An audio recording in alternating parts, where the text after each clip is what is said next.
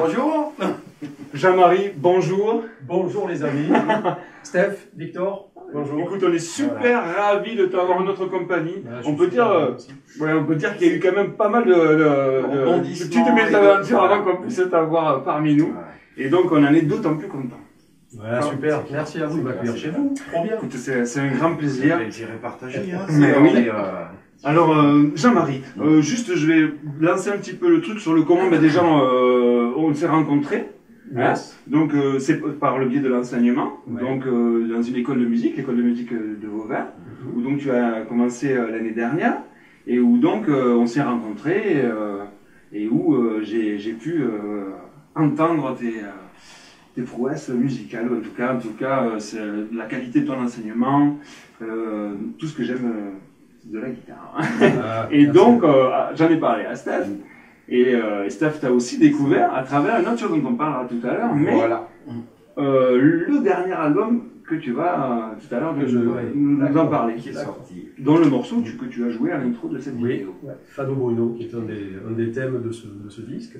Ouais. Ouais, super. Et ce dernier, et ce dernier CD que je, que je, donc, que je sors là, euh, devinez qui a fait la belle pochette C'est le Steph Notre ami. Exactement. Et donc, Exactement. on a été s'est- voilà, notre, notre rencontre. On s'est rencontrés là.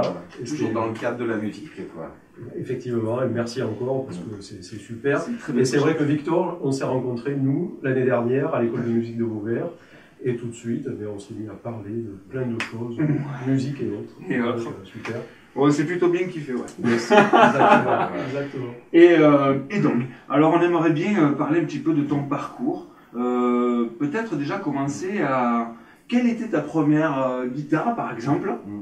Et, euh, et qu'est-ce qui t'a attiré vers elle? En tout cas, vers la guitare. Ah là, alors là, euh, la première guitare que j'ai eue, c'était une guitare classique, figurez-vous.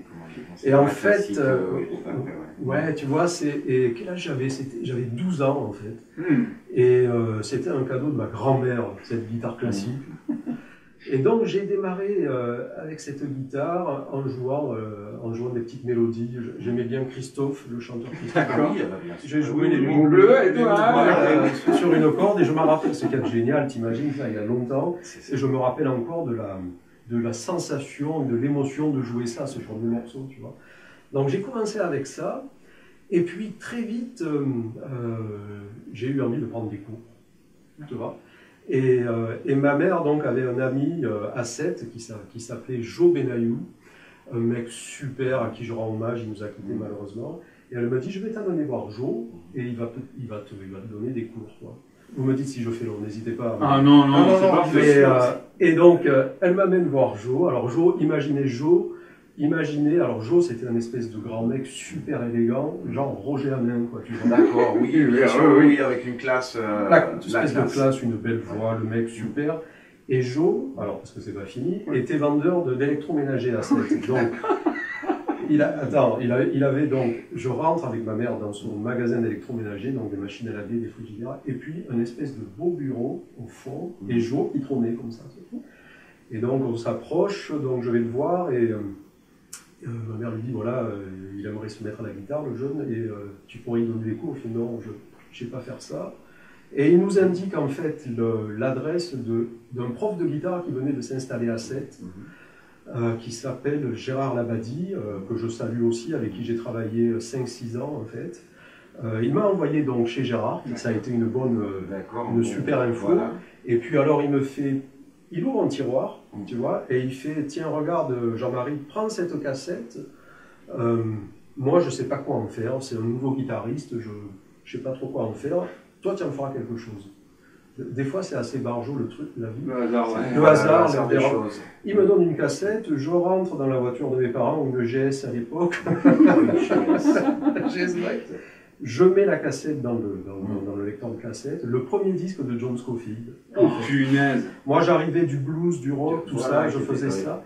Et là, ça a été, euh, pour parler de mon parcours, après avoir fait beaucoup de blues, de rock que j'adore, j'adore oui. ces musiques-là, ce moment-là a été une bascule pour moi. J'ai J'ai rentré complètement dans, j'ai dé- découvert, un univers. j'ai euh, découvert un autre univers. Je savais pas ce que j'entendais en fait, mais ça me passionnait. Enfin, ça me... Pendant une semaine, j'ai arrêté de parler, j'étais dans la, dans la voiture et j'écoutais la- j'écoutais cette musique. Donc voilà, ça, ça a été en fait le, le, la- l'arrivée du jazz au sens large Oui, dans, le vie. jeu, oui. Après avoir voilà. fait beaucoup Oui. de blues, de moi, je, je Parce que quand même, euh, je me permets de- d'interrompre, on ressent dans ton jeu quand même euh, justement ce côté blues rock, euh, pas forcément par les phrases rock, mais par déjà le son, euh, ou euh, j'appelle ça moi, jazz fusion ou jazz rock. Voilà. Hein, oui. d'accord Comme faisait un petit peu Uzeb à l'époque, je suis sûr que tu dois connaître certainement Bah, Michel Buisson et tout ça. Uzeb, ça a fait partie des Ah, groupes, des, des groupes, influences, des, des influences. influences. Ah bah oui. C'est- Ça a fait partie des groupes que je suis allé euh, écouter euh, aussi. Alain euh, Caron. Alain Caron, Alain tout ça. C'est qui oui, oui, Alain euh, Caron. Brochu, c'était. Paul Brochu, oui, ça, oui, ça a fait partie des groupes qui ont, qui ont alimenté mon parcours musical, bien sûr. hein. Là, tu es un petit peu dans cette euh, mouvance-là, avec, euh, je dirais, en plus, alors tu vas peut-être un petit peu nous en parler, mais euh, une couleur un peu euh, euh, world. Ouais, oui, oui, oui. Oui. que, hein, ce qu'on Oui, appelle world, c'est vraiment Totalement, totalement. euh, eh ben, des, des, des couleurs d'autres pays. Euh, quel- dans quelques, souvent, c'est dans quelques notes même. Euh, c'est très subtil, c'est ce que j'aime beaucoup dans ton jeu. C'est qu'il il y a un discours et des, euh, avec un gros- vocabulaire Mm. et qui te permet souvent de, de mettre des couleurs. Et c'est ce qui crée une émotion. Ouais. Alors, c'est marrant que tu dis ça parce qu'effectivement, quand moi j'ai travaillé sur la, la, la pochette de, de l'album, j'avais la chance d'avoir l'album à la maison. J'ai je travaillais en musique et effectivement, il y a certains moments où on, tr- on trouve euh, voilà une, une phrase et qui, qui vous amène autre part et puis vous êtes rebalancé dans un autre Ouais, ouais, ouais. monde. En fait, c'est c'est ça, c'est change de pièce. euh, on, voit- on on change de voyage. Ouais, Moi, c'est vraiment l'idée que m'a donné l'album, c'est qu'on voyage. Exactement. Tous les titres, euh, Exactement. Super. Mm. Ouais, c'est vrai que euh, il y a plein de dans mon, mon univers musical, mon, mon envie musicale, mon parcours est fait, est fait de plein de choses différentes en fait. Et euh, donc le rock, le blues, j'ai démarré par Deep Purple, Led Ah Zeppelin, tout ça. Ouais, ouais. Ah oui, quand même. euh, au départ, je voulais euh, Betty Blackmore. hein, Ah oui, oui, oui, oui, d'accord. Donc je, je suis parti avec, ces, avec tous ces groupes-là. Euh, je suis arrivé au jazz, j'ai beaucoup euh, écouté Charlie Parker et puis des gens comme John Scofield, Fat bien Metheny. Euh, aussi par le jazz rock, aussi il y a eu toute une période avec Scott Anderson. Ah oui, super Tu vois, Tribaltech et tout ça, moi tribal j'adore. tech, Ah oui. tribal Je, tech, suis passé par là. Ça c'est. Mais c'est vrai aussi le fait de. J'ai toujours été aussi attiré par d'autres euh, d'autres cultures musicales. Hmm. Et, euh, et c'est vrai que le fait de pouvoir voyager, ça, ça a été euh, à partir de- d'une certaine période, j'ai commencé aussi à voyager. Euh, mais, mais avant de voyager, j'étais déjà intéressé par exemple par la musique indienne, ce qui est très, ce qui n'était pas du tout euh, courant encore. Ah oui. C'est ça, Par ici. pas encore comme maintenant où on, on- elle rentre dans, dans plein de choses. Eh, Exactement, là c'est devenu, euh, c'est devenu plutôt euh, courant maintenant, mais c'est vrai que par exemple je m'étais mis un petit peu au tabla, euh, mais bien avant de voyager, bon j'ai vite arrêté parce que c'était un enfer pas possible, je trouvais pas de prof et tout. Voilà. Par contre, je m'étais déjà intéressé par exemple au ce qu'on appelle les ragas, c'est-à-dire les gammes, les modes indiens. Et je commençais, je comprenais rien au début à ces, musiques bien entendu, et je commençais à m'intéresser. Il y avait un truc qui me plaisait beaucoup dans ces musiques et qui me plaît, qui me fascine toujours, c'est le rythme Hmm. et la mélodie. Ça. Et quand vous dites de- le voyage, oui, c'est carrément, euh, c'est carrément ça. Et dans les musiques, euh, dans les musiques du monde ou dans, dans certaines musiques traditionnelles, la mélodie est vraiment importante. Et en musique indienne, par exemple, il y a euh, ce qu'ils appellent jouer un alap. Un alap, c'est quoi? Tu as juste une fondamentale qui est un bourdon qui est joué. Voilà. Tu as un bourdon qui est joué, et tu vas, dans ce halap, tu vas juste jouer chaque note du, du mode que tu vas développer après. Donc, sans rythme, hein, tu, fais, tu fais sonner chaque note du mode. Tu pourrais nous montrer un petit peu? Ouais, par exemple, ben tiens, regarde si tu Tu veux veux. que je fasse quelque chose Un bourdon. Un bourdon. Euh, ouais, tiens, faites-moi un bourdon de ré. Voilà. Par exemple, si, quand on parle de, de mode, euh, il y a ce mode en fait qui fait. Je vous laisse faire le bourdon.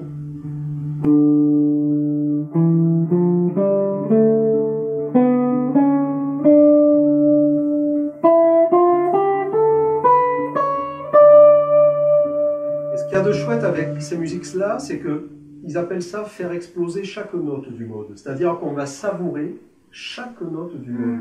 Tout à fait. Vois C'est l'écoute, à l'écoute, Et- voilà. Et, et donc, ça, ça oblige à faire moins de choses, mais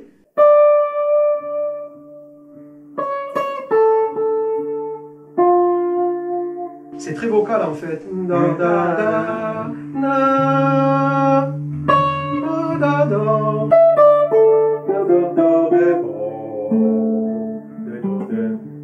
Et ça, ça me passionne. C'est-à-dire Ouais, le, c'est le- le côté vocal que l'on peut avoir dans, notre, dans nos jeux. Oui. Et je trouve que les musiques modales, les musiques modales de plein de musiques traditionnelles donnent tout de suite ce truc-là. Oui. Parce qu'il n'y a pas d'a- il y a pas d'accord en fait. Est-ce que tu peux euh, parler un petit peu de la différence, justement, Ah, oui. comme ça, avec modal et tonal? Donc, on a, je peux un petit peu juste glisser le truc. On a donc, euh, et tu développeras si, tu- si tu veux bien, on a donc euh, modal où on va, comme là, rester donc sur, Sur une un note Mm. et donc à travers cette note ben, développer euh, euh, une couleur personnelle. Et on a le système tonal qui est plus dur, qui est de là où tu es issu, tu m'avais dit, où là on est vraiment sur chaque accord et sur chaque couleur, on va jouer euh, la gamme qui correspond à cet accord-là. C'est ça, oui, oui. Hein. Est-ce qu'on est, bien là Ah oui, oui, carrément. hein. Quelles musiques font ça plus ou moins? Alors là, le modal, c'est plutôt euh, Alors, euh, le- indien, oriental. Le, modal, en fait, c'est la, plus- la plupart, euh, historiquement, en fait, la, le- la musique modale est la plus répandue et la plus ancienne, en fait. Oui, oui. Tu vois, c'est, ça, c'est vraiment chouette à, à, à- à percevoir ça. À moins que je me trompe et que quelqu'un me, me- me- m'explique un truc que je ne connais pas encore, mais les musiques tonales, c'est-à-dire jouer sur une suite d'accords,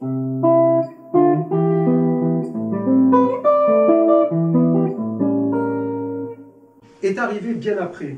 Est arrivé bien après. Et en fait, ce sont deux musiques euh, très différentes. C'est-à-dire que dans la musique modale, on, on est toujours, on, on- on se réfère toujours à une basse. Et à partir de cette basse, on va jouer une On va construire. On va construire. On va construire. Mais ça change jamais. C'est un peu, il y a une espèce d'immobilité. De ligne directrice en fait. Exactement, c'est ça. Dans la musique tonale, les accords changeant en permanence et chaque accord euh, euh, ayant une, et étant référent par rapport Mm. à une tonalité principale, ça donne une autre, euh, vraiment une autre, une autre, euh, une autre émotion. approche, une autre Voilà, approche. complètement différent. Et c'est intéressant de mélanger les deux parce que il y a plein de morceaux qui mélangent les deux. hein. Oui. Tu as des morceaux qui démarrent avec, euh, tu as- tu as- tu as une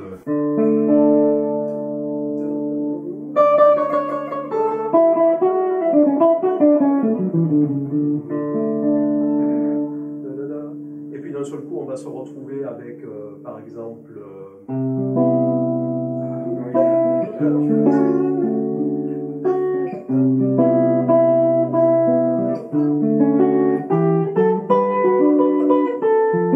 Ouais, là, j'ai vraiment tonal, ouais, ouais, ouais. Et là, je suis On passé- mélange les deux. ouais, sur, ouais. le, sur le tonal après, ouais. et après Et on ça, euh, alors, il y a, il y, a, il y a pas mal, je sais, tu dois connaître, j'en suis persuadé, il y a pas mal d'artistes d'ailleurs orientaux qui ont, fait, euh, qui ont fait un peu les mélanges, un peu jazz oriental, euh, genre Rabia Boukhalil avec le oud et tout ça, ça te parle? Carrément. Oui, oui, à l'époque j'écoutais ça, j'adorais quoi. Carrément, oui, oui, oui. oui. Euh, et donc hyper intéressant. Pour revenir, donc, parce que ça fait partie de ton parcours, euh, du coup, alors, euh, avant de, de- de faire, parce que tu as fait ces fameux voyages, donc tu peux un petit peu nous parler, euh, il y a une petite vidéo qu'on mettra en lien où tu avais, on a, on a discuté euh, il, y a, il y a quelques temps, où tu avais une vingtaine d'années.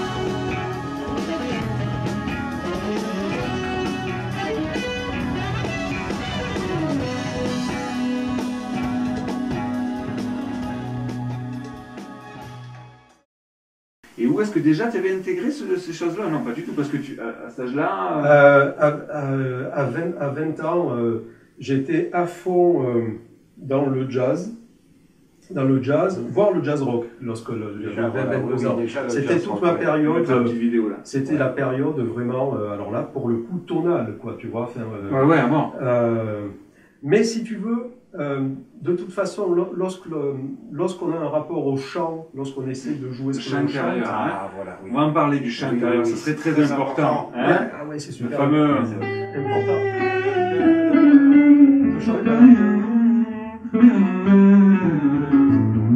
Exactement, de chanter. Ouais, de De chanter. l'avoir déjà en tête avant. euh, Voilà. Ouais, ouais, Mais, d'accord. mais si tu veux, le- pour, euh, le- lorsque j'avais 20, euh, 20 ans, j'avais pas encore accès, j'avais pas eu accès encore à ces autres cultures. Parce que la période, ça s'est ouvert avec Internet, enfin, avec Internet et tout, tout ça, hein, ça qui a amené de- d'autres- Mais, ça ouais. permet sans forcément Mais- bouger de commencer à voyager un petit peu et euh, Ouais. et s'ouvrir à d'autres cultures Ouais, oui, c'est ça. Ouais, ouais, car- carrément. on n'avait pas accès. C'est arrivé après par des rencontres, par euh, ben, la musique, hein, rencontrer des gens, et puis d'un seul coup, ça ouvre. euh, Alors, premier voyage Premier voyage, c'était. Alors là, que- attends, c'était c'était où le premier voyage? Le tout premier voyage, je crois que c'était en Grèce, le tout premier voyage. Mais euh, tout, ouais, ouais, c'était. euh, et on jouait. Ouais, on jouait dans un club.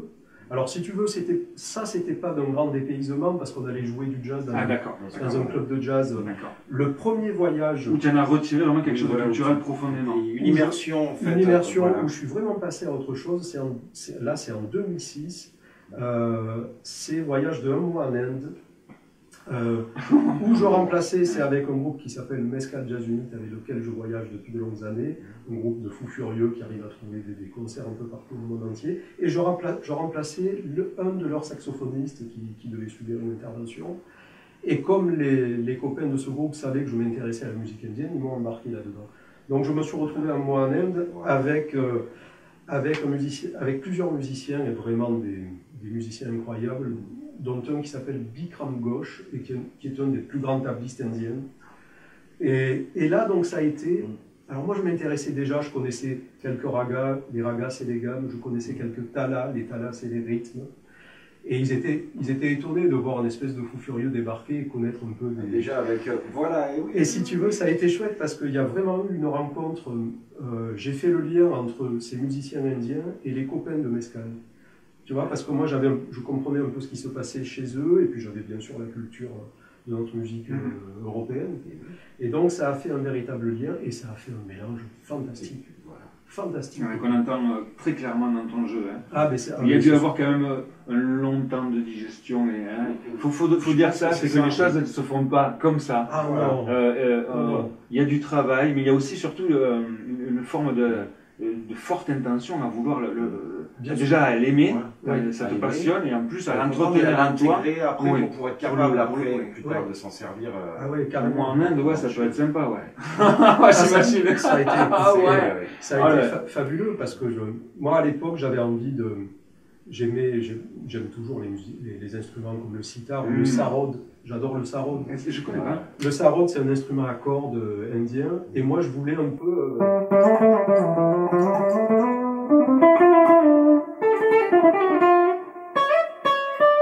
Alors attention, euh, je, absolument pas, euh, je ne je, je sonne pas du tout comme un musicien indien, mais le son et l'intention.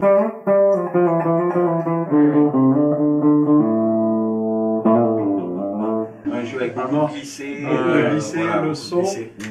Et j'avais dans mon travail, dans mon, j'a- j'avais ce truc-là.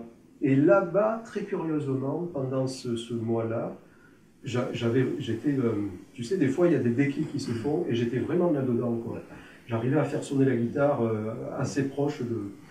Et c'est super d'avoir le retour de musiciens qui ont une autre culture. Et Parce que là, il se passe des choses aussi euh, fortes. hein. Euh, Ouais, J'imagine, ouais. Parce qu'il y a vraiment un échange de culture justement avec Ouais. toi, les, les- tes, tes- tes origines musicales que, que tu es allé amener là-bas et tu as découvert les leurs. Vous avez vraiment fait une, ouais, oui, vraiment. hein. une mixité. Et Vraiment. puis, euh, est-ce que c'est un mythe ou est-ce que c'est vrai? Du coup, moi j'ai toujours entendu qu'en Inde, euh, un raga était lié à un poème et à un tableau. C'est-à-dire, il y a une vraie histoire Il y a derrière, il y a un état un d'être, un état le- émotionnel à jouer cette gamme à ce moment Ça, précis. ça, c'est. Ouais, ouais, c'est. Comme le blues, quoi. Comme pour nous, euh, En en fait, Occident. Oui, c'est ça. En fait, le- on parle beaucoup du blues, le blues euh, Qui euh, marque américain, Un qui- sentiment. euh, qui marque- euh, mais- Voilà, oui. Des blues, il y en a Mm. partout dans le monde entier. C'est ça qui est fabuleux. Le flamenco, c'est du blues. Ouais, c'est un Le fado, Oui, c'est le blues, Oui, tu as oui, oui, l'intention tu parlais. Le, Exactement. Euh, et le fado, c'est au Portugal, hein, le c'est- fado, tu m'as fait découvrir ça. D'ailleurs, c'est- a- le morceau que tu as joué en ouverture.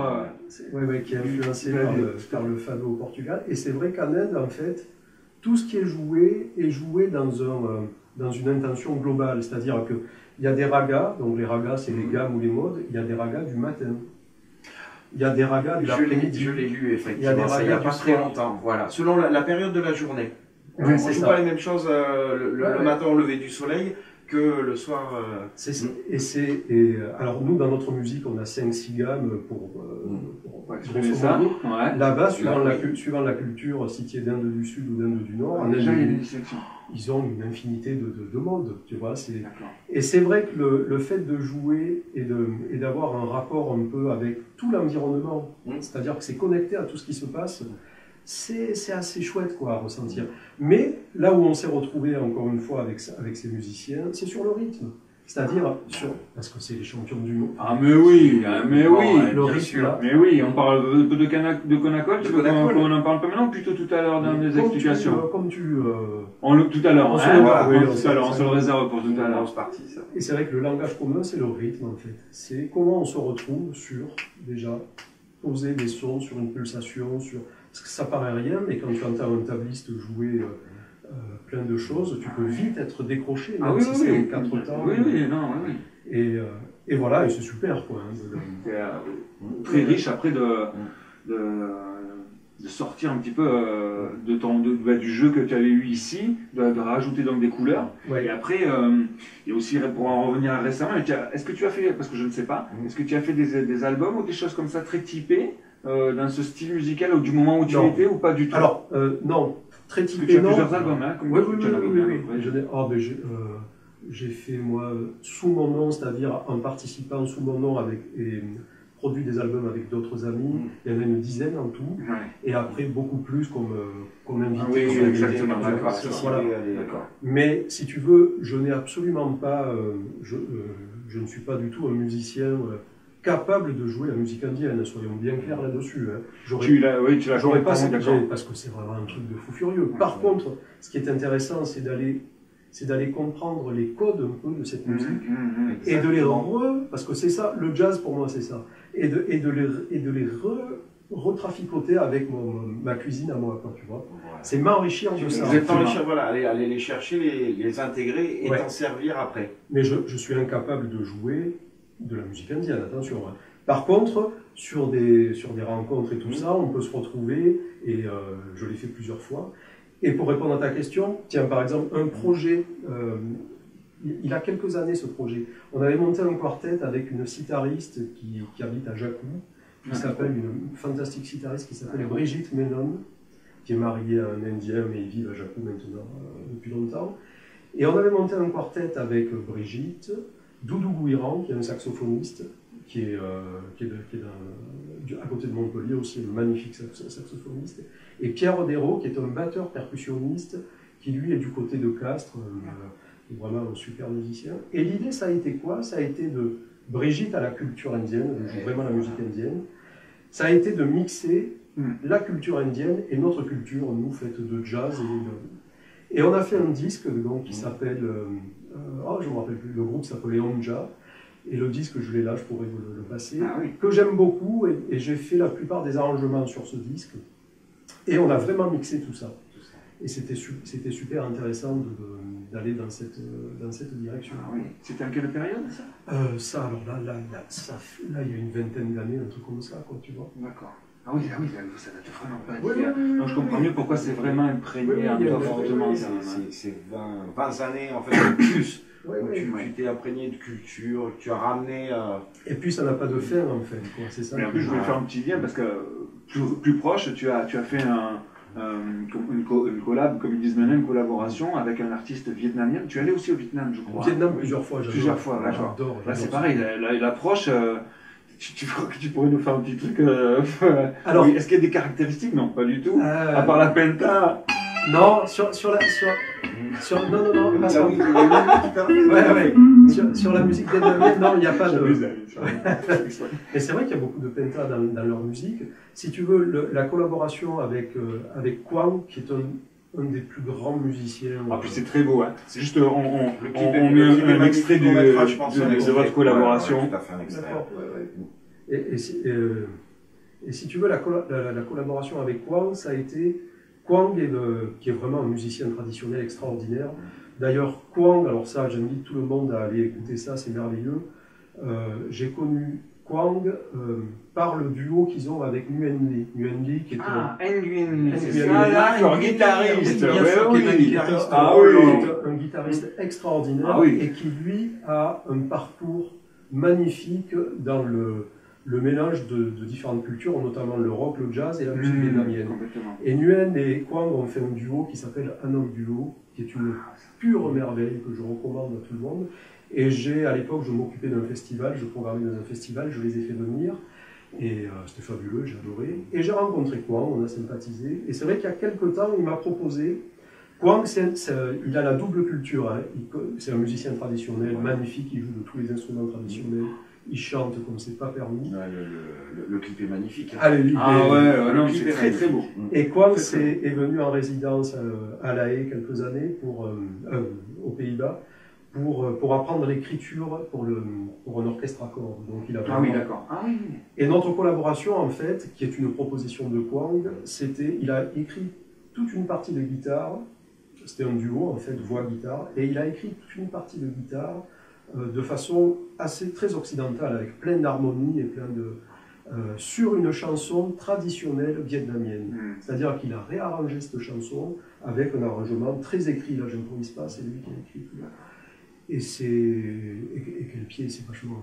Et là, en fait, ça va dans tous les sens. C'est-à-dire que lui, ayant une culture traditionnelle très forte, est venu contacter notre culture euh, tonale. Oui, oui. Tu vois, et, hop, et allez, c'est parti. Et ça. Donc là, là c'est voilà, ça a été dans les deux sens à fond. Quoi. C'est, euh, mais voilà, ça, c'est des rencontres extraordinaires. Dû à ça. Et tu as, tu as fait d'autres euh, d'autres rencontres comme ça ou tu as fait des collaborations euh, Ouais, alors, il y a- ouais, il y a. un peu a- exotiques, j'ai envie de dire Ah oui, total- totalement, parce que Ah c'est oui, vrai oui, que de passer de l'Inde au Vietnam et tout, c'est deux cultures différentes, Ah, donc forcément. Ah, ouais.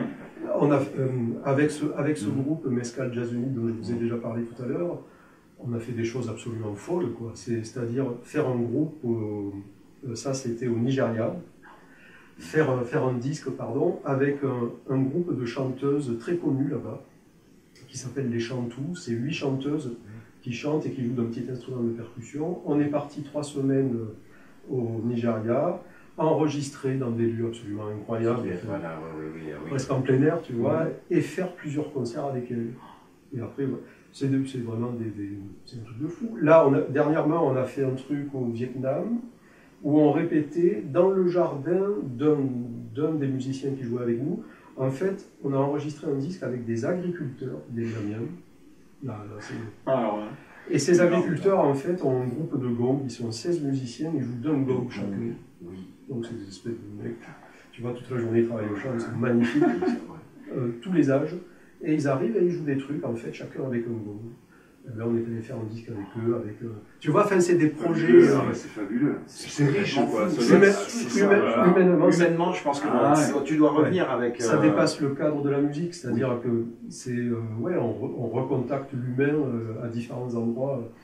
Vo- Voilà, et puis, des projets comme ça, il y en a... il y en a- Ouais, ouais, il y en a...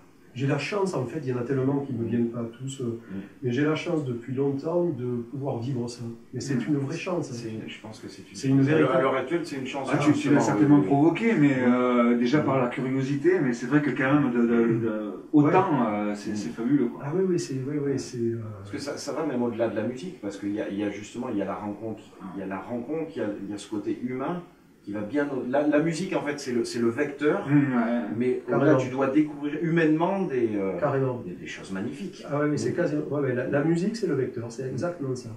Euh, et c'est d'ailleurs comme ça que je vois le jazz. Le jazz, c'est un vecteur qui va... Bref, mais la musique Ouais, ouais, au sens large, tu as raison, c'est un vecteur. Et c'est très bien parce que on se retrouve dans des situations où tout ce qu'on a pu imaginer ne fonctionne plus, il faut juste s'adapter à la situation, musicalement et humainement. Et là, là, c'est- Voilà. là, tu vient, voilà. apprends plein de choses. C'est ça. Sur, ça. sur toi, sur la musique, sur... Et ça, c'est vraiment chouette. vraiment.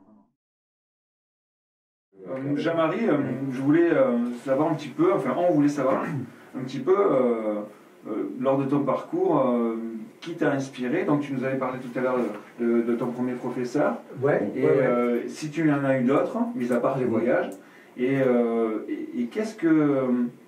Est-ce que c'est que guitaristiquement ou leur personnage, ou qu'est-ce qui t'a le plus inspiré en eux? D'accord.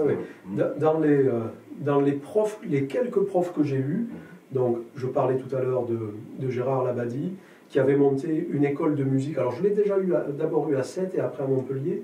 Il avait monté une école de musique qui s'appelait Connaissance et Recherche musicale. Hmm. C'était génial parce que Voilà, ouais, tous, les, tous les guitaristes de l'époque, Gérard Pinsanel, Pascal Coriou, euh, tous, tous, tous les... Ah oui, On était oui. tous là. On était tous là et ça m'a permis de les, de les rencontrer là. On peut leur faire un petit coucou d'ailleurs. Carrément, oui, oui, carrément, les, les- les amis, euh, coucou. Et, euh, et c'était super, quoi, vraiment. Donc, avec Gérard, j'ai travaillé, Gérard euh, Labadie, pendant six ans. C'est là que j'ai rencontré Gérard Pinsanel, avec qui, qui a été aussi, euh, j'ai fait deux ou trois stages avec lui. Il faisait des stages, Gérard. Et, euh, et donc, j'ai j'ai travaillé deux, trois fois un stage avec Gérard, c'était super. Et puis, il y a une continuité dans tout ça. On, on en revient aux rencontres et, et aux liens qu'il y a. On en revient à ça. De, de Gérard Labadie, j'ai pu rencontrer Gérard Pinsanel. Et à un moment donné, j'ai dit à Gérard, tiens, j'aimerais bien travailler, d'autres, continuer à développer tout ce que tu m'as fait voir. Il m'a envoyé, envoyé voir Serge Lazarevitch à Ah oui, d'accord. Serge Ouais. n'était pas encore dans la région, euh, enfin, ne, ne serait-ce qu'à Perpignan, il était à- après à Perpignan. Je suis parti chez Serge une semaine, donc euh, euh, chez lui, il me recevait, et tout, on travaillait euh, avec un autre copain, et donc on a travaillé des, des choses. Donc ces, ces trois musiciens m'ont inspiré, réellement. Vraiment, voilà. Vraiment. Euh, donc ça, c'est des gens que j'ai rencontrés euh, en direct et qui m'ont réellement inspiré. Chacun m'a amené quelque chose de, à- au bon moment qui a fait que j'ai, moi, j'ai continué à développer mon, mon histoire. Après, euh, dans les musiciens, j'ai beaucoup, beaucoup écouté au départ Richie Blackmore, Johnny Winter, Rory Gallagher. Ah oui. J'étais un fan de. Rory Gallagher. Rory Ce- ce genre de- Très bien, ouais. ce genre Très de bon. J'adorais Johnny Winter. Ouais.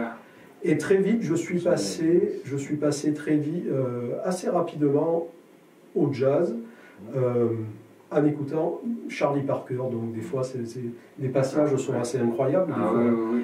Et donc, euh, je me suis mis à écouter Charlie Parker. Et très vite, j'ai écouté, grâce à des amis, de- des guitaristes de jazz, euh, euh, qui c'est qui m'a beaucoup influencé? John Scofield m'a beaucoup influencé.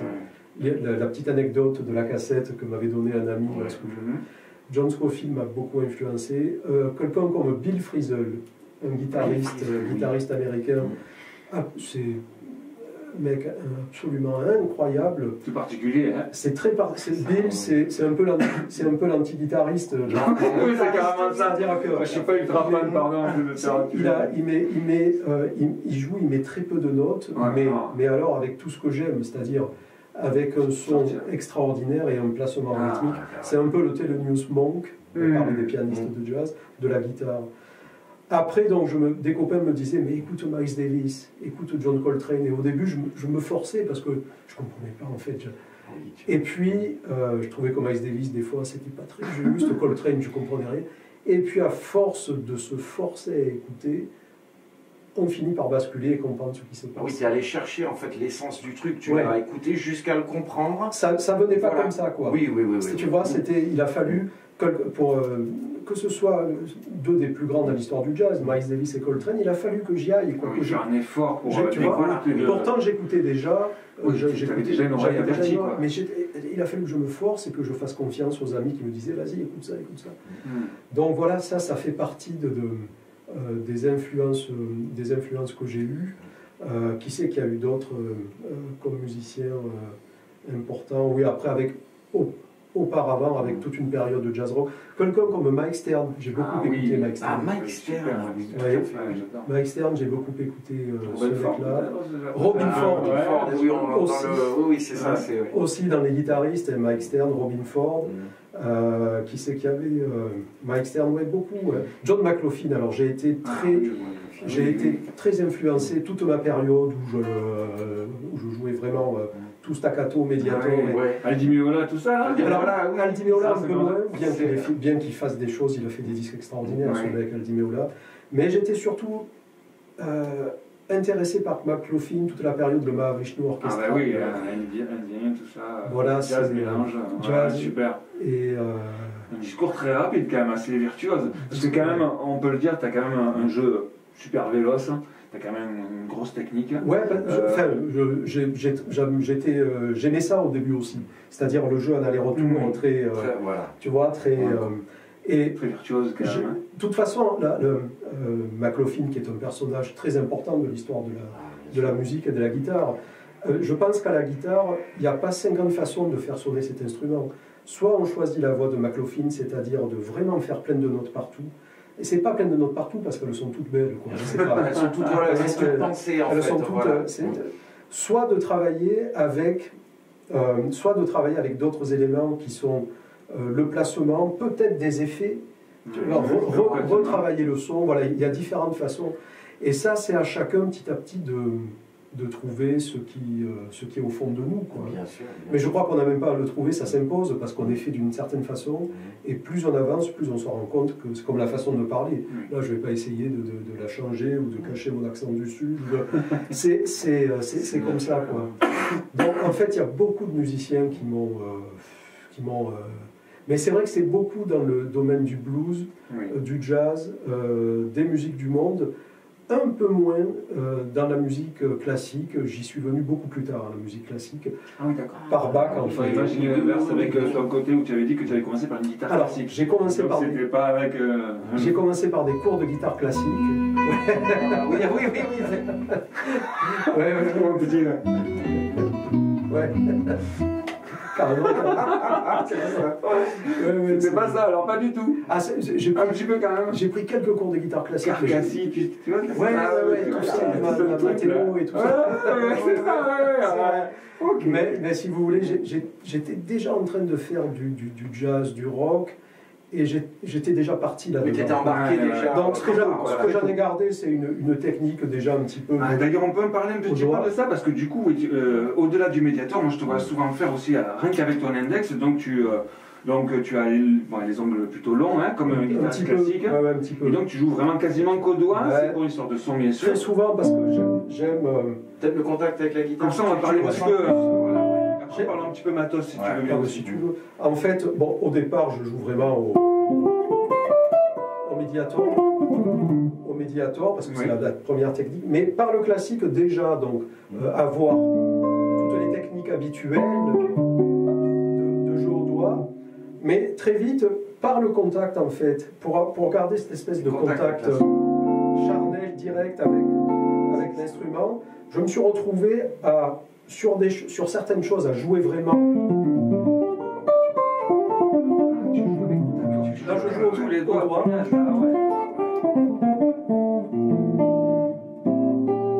Je joue tout au doigt là.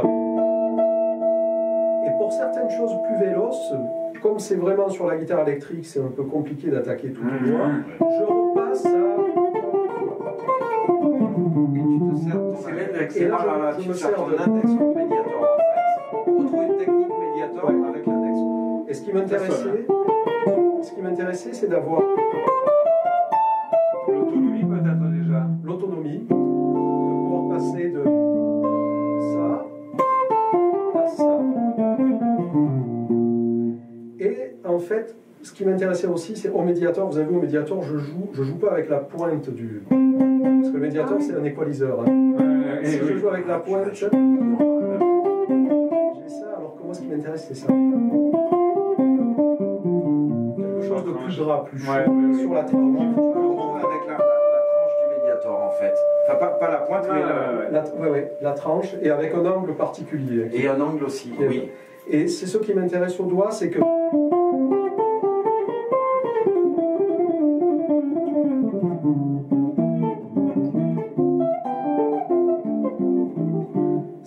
avoir un accès, euh, mais c'est Tout rapidement. rapidement, mais c'est vraiment un jeu, euh, c'est une espèce de bricolage quoi, parce qu'on C'est est, un peu hybride, on pourrait c'est dire. hybride, c'est- vraiment, Et, vraiment. et en fait, tu peux justement naturellement avec la main en fait faire varier justement ce que tu retrouves avec la- l'attaque du médiator, pas sur la pointe, mais là tu, tu, tu, tu peux le.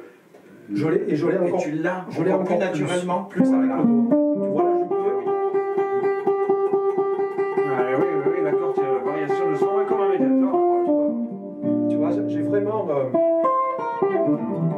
Et donc, j'essaie aussi de développer des choses.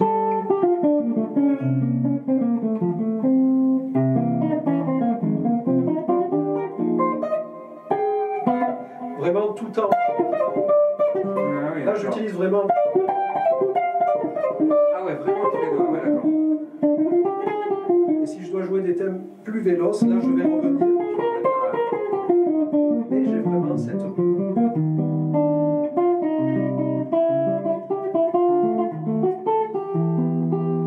Et c'est, alors ça, c'est arrivé aussi par accident. hein. C'est-à-dire qu'à l'époque, je jouais avec des, des médiators en agate.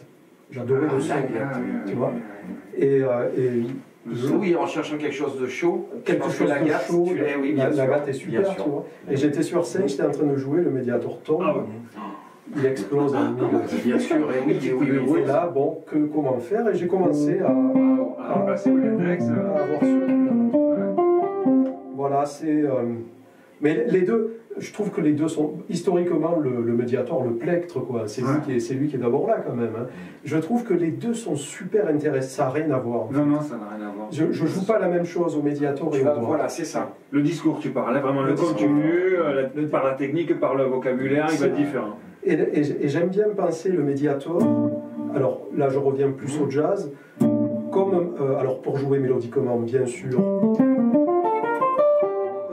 les baguettes d'un batteur, tu sais. Et je vais pouvoir...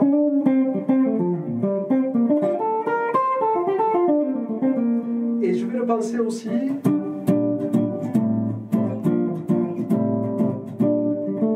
Comme un batteur qui va jouer sur la cymbale. Dire. Tu vas aller.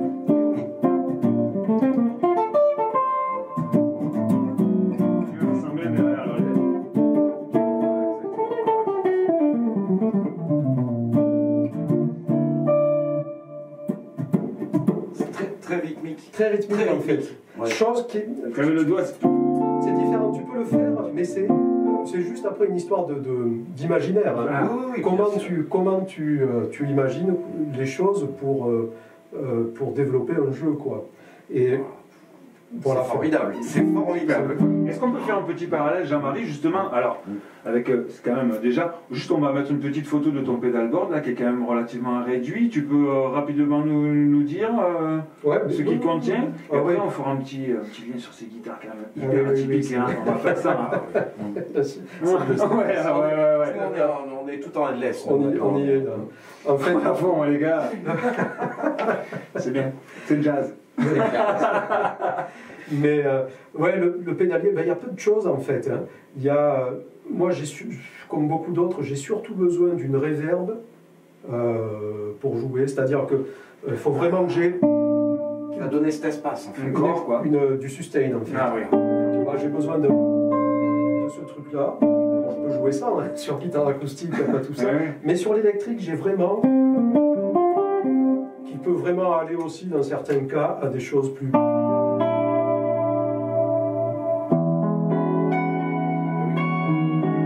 Voilà, à plus.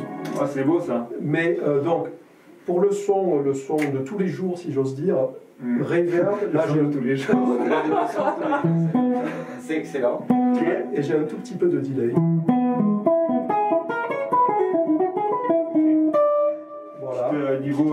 Fait un peu de vie à ton son. Qui donne un petit côté organique et qui prolonge le, le sustain. Le sustain, C'est voilà. c'est une histoire de sustain. Voilà, que je puisse. Après, j'ai une petite, euh, alors une petite euh, Ibanez TS9 qui est une, euh, un overdrive en fait, hein, c'est ça. hein. Ah, qui sonne de folie, je trouve. et, qui est- et qui me permet juste de...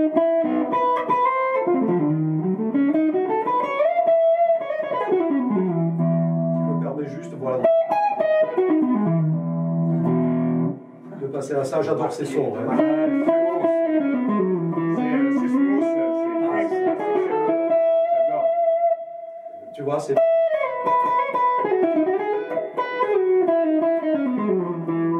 Je viens de là. En fait, le son de base pour moi est là, qui est un son clair, et je viens le l'enrichir de différentes. J'aime bien ça aussi, regarder ce genre de. C'est-à-dire Octaveur. octaveur,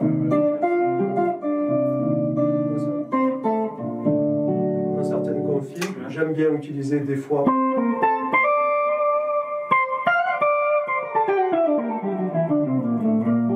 Ce genre de. Ce genre de, de choses avec des pitchs différents, notamment avec la Wami que j'ai Avec la acheté Wami, euh, bien sûr, bien sûr. Je l'ai dit, c'est un geek. Et puis, alors une pédale que, que j'adore, c'est la, c'est la, la Keystone, la, comment elle s'appelle déjà L'exchanger. Monsieur Keystone. De- de- voilà. Coucou Ambroise, Ambroise. Ah, Carrément, Am- Ambroise, euh, coucou à toi. hein. J'adore cette pédale parce qu'en fait, j'ai toujours eu, j'aime avoir un- toujours un booster dans mes pédales. Parce que des fois, tu es en situation de jeu, tu passes plus très bien. Mhm. Un petit coup de booster et Et tu vas t'en servir en fait, voilà. Et en fait, moi, l'exchanger, je m'en sers pas mal comme un, comme un booster, en fait. Mais un booster qui a une dynamique incroyable et qui a une qualité. Là, je ne l'utilise pas. hein. Mais si je veux, je le mettre. Vous imaginez le- C'est étonnant quand même. Là, je l'ai pas. Je passe avec. Le Texas.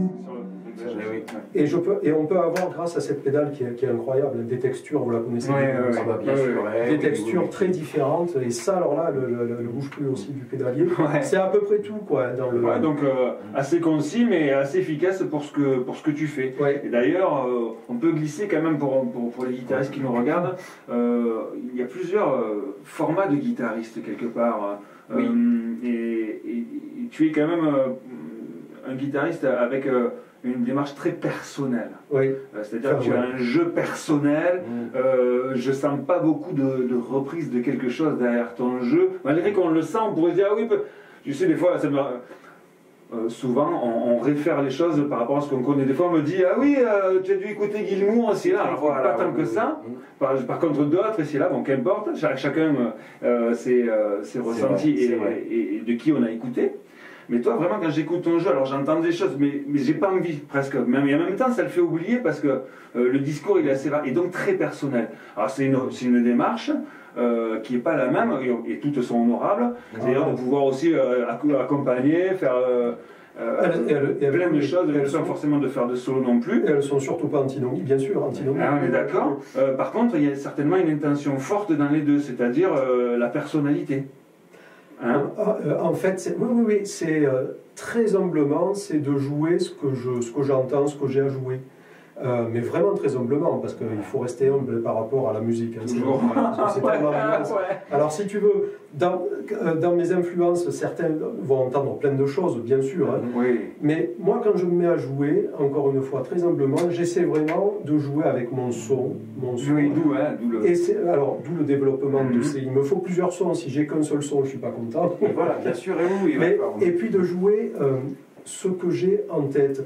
Mais euh, je ne réinvente rien du tout. C'est-à-dire que ce que j'ai en tête, c'est, c'est passé par plein de gens que j'ai écoutés, que je continue à écouter. Mais au moment où je joue, j'essaie vraiment d'être. euh, j'ai plus. À une période, ça m'arrivait de, de- de jouer en me disant tiens, j'aimerais sonner comme lui à un moment donné.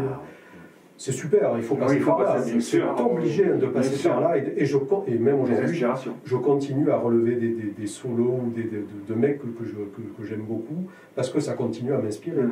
Mais au moment de jouer, j'essaie vraiment d'être. euh, Puis il serait temps, arrivé à un certain âge, il faut. Ouais, ouais, ouais. C'est ça, tu as, tu as dépassé ce, ce- peu, ce stade en fait, qu'on a tous à un moment où on, où on reste très longtemps dedans. On, on- on- on- on va ad- aduler un guitariste, Ouais, on va ouais, essayer de s'imprégner de son son, de, de chaque chose, des effets qu'il a et tout, parce qu'on veut, sans vouloir le copier, on veut, on veut lui- gratter quelque chose. Ouais, ouais, ouais. Toi, en fait, tu, C'est ce qui vient après. voilà. Et toi, tu es déjà au-delà, Mm. c'est-à-dire qu'en fait, tu t'en es imprégné et tu le fais à ta façon. Tu, Oui, c'est plus une influence, tu vas pas vouloir sonner comme, tu t'en sers je, voilà, je m'en dans sers. ton jeu. C'est très important. devenu bah très oui. personnel. C'est Oui. c'est- C'est devenu, voilà, c'est- et je crois que le son, c'est important. hein. Le son, c'est Ah oui, c'est une, c'est caractéristique. Ce qu'il y a de génial, c'est que par exemple, tous les trois, c'est comme notre façon de parler, on va avoir on a trois sons. Trois configurations différentes, Trois trois sons différents. Et moi, le son, c'est, ça, ça a toujours été une euh, préoccupation. quoi. Comment faire que, quand, dès que je joue,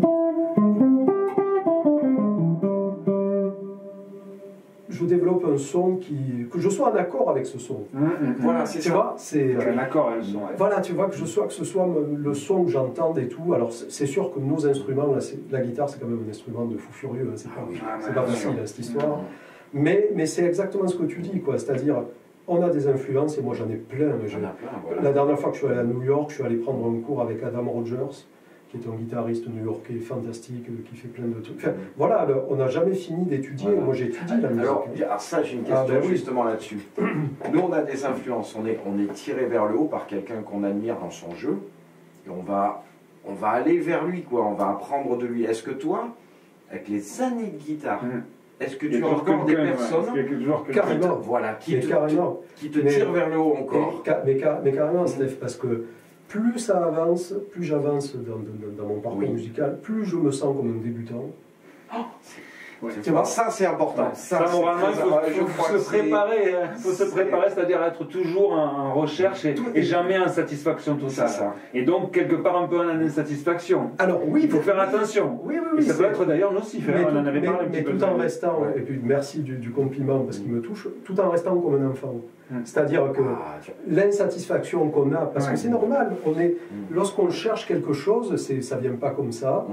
c'est, euh, et puis on s'interroge, donc il y a des moments de doute, et ils sont, Ouais, ils sont- bien sûr, bien sûr. Et, mais il y a le jeu, c'est-à-dire que ce côté, ce côté Ouais, enfin. enfantin, re- heureusement, revient souvent, et, et je suis reparti, et bien sûr que, et encore plus après toutes ces années, lorsque j'écoute, si je réécoute Miles Davis, je suis, mais je suis scotché au, Ouais. au mur. Parce que tu le comprends encore Je- plus. je- il me semble voir encore plus l'étendue Oui, oui. d'une œuvre de l'œuvre de De ce mec-là et d'autres Ah, et, et les autres tu Oui. vois c'est donc euh, si tu veux c'est à la fois un, un chemin qui va vers ce que moi je- j'ai à faire mais je suis encore plus conscient de, de, de- de la beauté je que de, tu vois, vois Je autres pense que tu, tu accèdes à quelque chose de par tes connaissances que peut-être que nous, à notre niveau, on n'a pas, on n'a pas encore. On, on- on- on aime, on aime la- le, guitariste. Toi, tu es peut-être allé au-delà. Tu es, es passé au-delà et tu, tu découvres encore autre chose sur, sur un guitariste. Tu dé- ouais, Une ouais, tu- intention que nous, on perçoit Oui, oui, oui, pas. oui, c'est ça, en fait, c'est la Ou sur perception. le son, sur Tu le as peut-être une vocabulaire, ou perception sur, euh, au-delà. Le rythme, Ouais, oui. ouais, ouais, Oui. ouais. On va parler. Alors justement, euh, on va, on va juste faire une petite transition. Comme ça, j'aimerais beaucoup que tu nous parles de ces guitares. Et comme ça, on va un petit peu les montrer. On va les ramener là. Ça vous dit, les gars? Carrément carrément ouais, Allez, ouais, c'est ouais, parti. Donc alors, Jean-Marie, on va parler maintenant un petit peu de, de- de tes instruments en général. yes Donc au niveau de ces guitares, tu peux nous en dire un petit peu plus, elles sont magnifiques. hein. Alors, écoute, euh, truc de dingue. que dire euh, que dire Super. que dire que dire de ces guitares si euh, en fait ces guitares euh, sont, sont faites sont fabriquées par un luthier euh, qui se trouve à Austin au Texas Ah oui, d'accord. qui s'appelle Christopher Forchage ou Forsaghi, je ne sais plus exactement la, la- la prononciation exacte, qui est un, un- un luthier absolument incroyable qui euh, il a repris à l'époque j'étais vraiment euh, amoureux et fasciné par les guitares de Steve Klein, les guitares jouées par euh, Bill Frisell ou même Lou Reed, Lou Reed Ah avec oui, Steve Klein. Oui. Et je voulais vraiment m'en trou- m'en trouver une, mais euh, Klein avait arrêté la production de ces guitares, et celles qu'on trouvait d'occasion étaient vraiment hors de prix. Et je suis tombé en cherchant, je suis tombé sur le travail que fait Chris For- Forsa- Forsaghi. Je l'ai contacté, et donc la première en fait, euh, ça c'était en 2000, 2000 euh, euh, je sais, il y a une dizaine d'années en fait. La première que je lui ai achetée est celle-ci, donc c'est une solid body. Hmm. Alors en fait, c'est lui, il appelle ça des, c'est des guitares ergonomiques en fait. Euh, Ah ouais, elles sont vraiment faites pour le corps. C'est dingue la une- tenue. ouais, ouais, totalement. alors le, le truc, euh, ah ouais, carrément. C'est un Tiens, truc de dingue, Tu hein. as vu le assis en fait, le confort qu'on a. Cette découpe est vraiment faite C'est ça, c'est fait pour poser sur la cuisse, quoi. Là, dans cette position-là, en plus. On a, on a, ouais, ouais, ouais. T'es très haussé, t'as le dos qui est droit. Voilà, Ouais, la c'est position, est droit, c'est la première fois que je, que je, que je Ah oui, que tu, ah oui. Franchement, je suis assez impressionné. C'est étonnant, Ah ouais. Et c'est vraiment étonnant. Tu, l'essaieras, Steph, oui. C'est très étonnant. Et donc, euh. En fait, euh, Chris euh, Christopher a repris le concept des Klein pour faire ses guitares. Les Klein, elles, elles montent un petit peu plus hein, ici. Et euh, Christopher a fait une guitare qui est un petit peu plus basse ici au niveau de la caisse, mais qui plonge un petit peu plus. Mais le confort en fait de jeu assis est, est Ah le même, ouais. est vraiment étonnant. Et tout, c'est fou. Il a quoi. gardé, ouais. Guitare headless, Headless, comme, comme, sûr, comme la tienne aussi, euh, Steph, qui est- super. Et euh, je ne sais pas si on le voit, mais la qualité de construction. Ah, c'est Ah ouais, ouais, ouais, c'est juste hallucinant. La, ta- la table est d'une beauté. Alors en fait, c'est de, ça c'est de l'acajou. C'est acajou. C'est acajou, acajou. Et ça, en fait, euh, je pense que c'est un. Je ne me rappelle plus exactement, mais je crois que c'est un érable moucheté, en fait, Ah, qu'il a mis là. C'est magnifique. Hein. C'est vraiment. On fera euh, certainement une photo pour la mettre Ah, mais parce que la table est juste pour- magnifique. juste la, touche est en cocobolo. Il utilise le Ah, cocobolo coco, aussi, tu ouais. vois. Pour, euh, Alors normalement, les boutons ici sont en cocobolo, mais bon, comme j'ai fait placer des, des splits, j'ai Ouais, pas pu les remettre. euh, Donc ça, en fait, c'est la version euh, solid body des guitares qu'il Mhm. fait. Euh, et on a l'équivalent Ah Victor à la... C'est une autre guitare que je lui ai achetée deux ans après, qui est une demi-caisse en fait. C'est une, une- la 335, mais version, euh, version Klein. C'est la, la même conception, mais, vrai- mais creuse euh, à plein d'endroits. Ouais. Et Un, un HSH. Alors, ouais, sur Ouais, celle-ci, C'est marrant parce que tu as un, un euh, deux, deux humbuckers sur l'une. deux humbuckers sur celle-ci, euh, Splittable, splittable. voilà, ouais, ouais, tu splittables, et c'est vraiment, c'est vraiment bien, bien Mais il y fait. a, il y a, il y a- ouais, il y a plein de. Et sur celle-ci, en fait, il y a- c'est un peu une usine à gaz, c'est Mhm. deux humbuckers, deux humbuckers en simple, et j'ai même un pied de zone. Ah, tu as un pied de Ah, dans le oui, d'accord. Euh, je l'utilise peu parce que le son me, mais, mais n'est pas transcendant, mais mixé au magnétique. Tu peux, Ah. tu peux mixer en fait le, mixer. le piezo alors, tu peux mixer. sonorités un petit peu Et, ça, tu, on, on trouve des sonorités intéressantes. Ça, c'est un peu jusqu'à présent ma guitare jazz en fait. Euh, J'aime bien le, le- elle a un son plus acoustique que celle-ci. Oui, Bien sûr. Tu Et, fais de la euh, demi-caisse sûrement qui te donne une Ouais. résonance différente après. Oui, c'est ça qui donne. euh, Et c'est vrai, effectivement, je crois qu'en Europe, je suis le seul à avoir ces. Ah bon? Ah oui, oui, ces instruments. Je pense qu'il n'en a, pas vendu d'autres, euh, Chris. Mais il, fait, il a une production d'une vingtaine d'instruments par an. Et euh, aux États-Unis, il y a beaucoup de. Ah oui, d'accord, il y a très peu d'instruments par Oui, an, oui, oui. ouais, C'est ouais. vraiment, c'est du- vraiment quelque chose du de ouais, c'est chaque ouais, fois, c'est C'est du. De toute façon, le- on le voit, hein, c'est Ah ouais, c'est vraiment le- la, vraiment du- le- la- c'est- la jonction, la jonction corps, corps manche est, Ah oui, oui, est- est terrible. Elle est, c'est, c'est C'est vraiment. extraordinaire, ouais, hein, ouais. comme. euh, La finition, n'en parlons pas. Et alors C'est pourquoi j'ai euh, j'ai pris ces, ces guitares? Parce qu'en fait, bon, j'aime le look, après le goût et les couleurs, ça. euh, ça Euh, Entre nous, on a dû te faire une paire de vannes, non, sur ça? Oh là là Euh, Ah oui, ah oui, là là, Pour la pizza, la oui, de ouais, tennis, tout eu. Parce que vous la avez pas vu guitare. ça en housse, mais en housse, vraiment, on dirait vraiment que tu transportes tout sauf une guitare. Sauf une ouais, C'est pas jouer au d'accord. tennis ou je sais pas quoi. Là, j'ai eu droit à quoi? La guitare, des pierres à feu, enfin tout quoi. Ah ouais, t'as tout, tout. Mais, euh, et- mais c'est vrai que je l'ai prise aussi parce qu'elle est beaucoup plus petite qu'une guitare traditionnelle et pour Mm. voyager en avion, je Oui. Ah, tu as, eh oui, bien sûr. Le, format de avec bien sûr. Je sais qu'elle vas- aussi en avion sans tu problème. ouais, ouais. Tu vois Mm. Voilà, c'est. euh, et puis donc, depuis, ça fait plus de 10 ans que j'ai ces guitares, ça ne bouge pas, quoi. Comme quoi, le travail de lutherie est. Ouais, ouais, costaud quoi. euh, hein, et ce gars qui est à Austin, la Chris Forsaghi, euh, fait aussi des archtops, il fait des guitares folk, des, enfin, il fait plein, il fait des strats, il fait des télécaster. Ah oui, d'accord. C'est ouais, c'est un mec. euh, Ah oui, c'est un truc, c'est de la haute lutherie. hein. Et en fait, c'est le seul que j'ai trouvé à l'époque qui faisait des guitares inspirées des Klein. Voilà, c'est pour ça que j'avais. D'accord. Ok. Voilà, voilà. C'est devenu une signature un petit peu parce que c'est vrai que euh, quand on, quand on regarde tes vidéos et tout, Mais c'est- oui, mais oui, carrément. Maintenant, je t'ai identifié Jean- par ça, Jean-Marie, début, je te connaissais pas, Ouais, évidemment. c'est- la guitare. C'est vrai, c'est tout vrai. à fait. En fait, j'ai longtemps joué. La guitare que j'ai le plus joué jusqu'à présent, c'est une, une Parker Fly. Ah, Une bah, Parker euh, avec deux simples et un double que j'ai joué. Jouabilité de dingue. Ah ouais, ouais, qui est- qui est super. aussi, oui. Et ça fait 20 ans que je jouais cette Parker et j'avais envie de- d'autre chose, quoi. Et je suis passé à ça. euh, j'ai d'autres guitares, bien sûr. Oui, hein, oui, oui, hein, non, non, non. non. Ouais, hein, ne me titillez pas. Oui, oui, oui, oui, oui. Vous deux, là. Je vous ai dit au début une guitare par semaine, il venait avec une guitare par semaine. Et puis en fait, il y a- il y a- alors, je vais me permettre un petit peu aussi. En fait, il y a aussi selon les artistes, je- il y a, il y a très peu de temps, on, on en parlera certainement peut-être tout à l'heure quand on parlera de rythme dans le partie pédago qu'on va attaquer dans pas longtemps. Euh, un artiste, comment il s'appelle, du, du morceau Slow Motion, tu sais, donc cet artiste, comment Ah, il s'appelle euh, Léo Amoedo. Voilà, C'est Léo guitariste. Super, on peut faire un petit clin d'œil pour, aller, aller voir Léo Amuendo. Lé- Léo Amoedo, qui est super, d'accord. super C'est guitariste. un Brésilien Non, il n'est pas brésilien, il est. euh, oh ben mince, alors attends. Il est. La capitale, c'est Montevideo. Vous allez me dire tout de suite. Oui, évidemment. Euh, non, Ah, ah, j'ai pas mes lunettes. Voilà, on voilà. n'aura pas de minute culture. Il, il a une Euh, faille, géographique. Ouais, ah, Il est uruguayen. ah oui, oulala, d'accord. C'est un super, super guitariste. Ben voilà. Et donc, euh, pourquoi je te parlais de ça Dans le sens où il jouait sur une silent guitare. Oui. Et que donc, dans cette période-là, ben, je vois Jean-Marie avec une silent guitare, qui a envie d'acheter une silent guitare. J'imagine bien que si la semaine prochaine, on va parler de Alan Osworth, on va revoir la, la guitare syntaxe, Ah, où le- il va débarquer avec la honneur, tu ouais. sais, la honneur sans tête. Ah, le bâton Ouais, mais tu comprends, j'ai l'impression, parce que moi j'ai entendu, ouais, mais j'ai l'impression que quand même, là, il, il avait touché un truc, le gars. Et que c'est un peu l'excuse au matos. Je suis C'est un- démasqué. C'est un peu l'excuse au matos. Ouais, mais je crois que le mec, il, a, il avait compris un truc, et qu'il faut que, je vais essayer du coup, en tout cas, c'est vrai que pour nos douces, pour nos, nos, nos- nos compagnes, c'est un bon, c'est c'est bien, c'est une bonne- une excuse. Complètement. Tout à C'est-à-dire que fait. là, je suis en euh, je suis- je- il se passe Non, quelque ça- chose en fait, ça, le ça développe en fait le- tout, tout ce truc de persuasion, c'est qu'il faut trouver des arguments pour justement faire passer ouais, ouais. le gros, d'éviter le prix, C'est ça, c'est ça. créer le truc, j'en ai besoin. Tout à fait.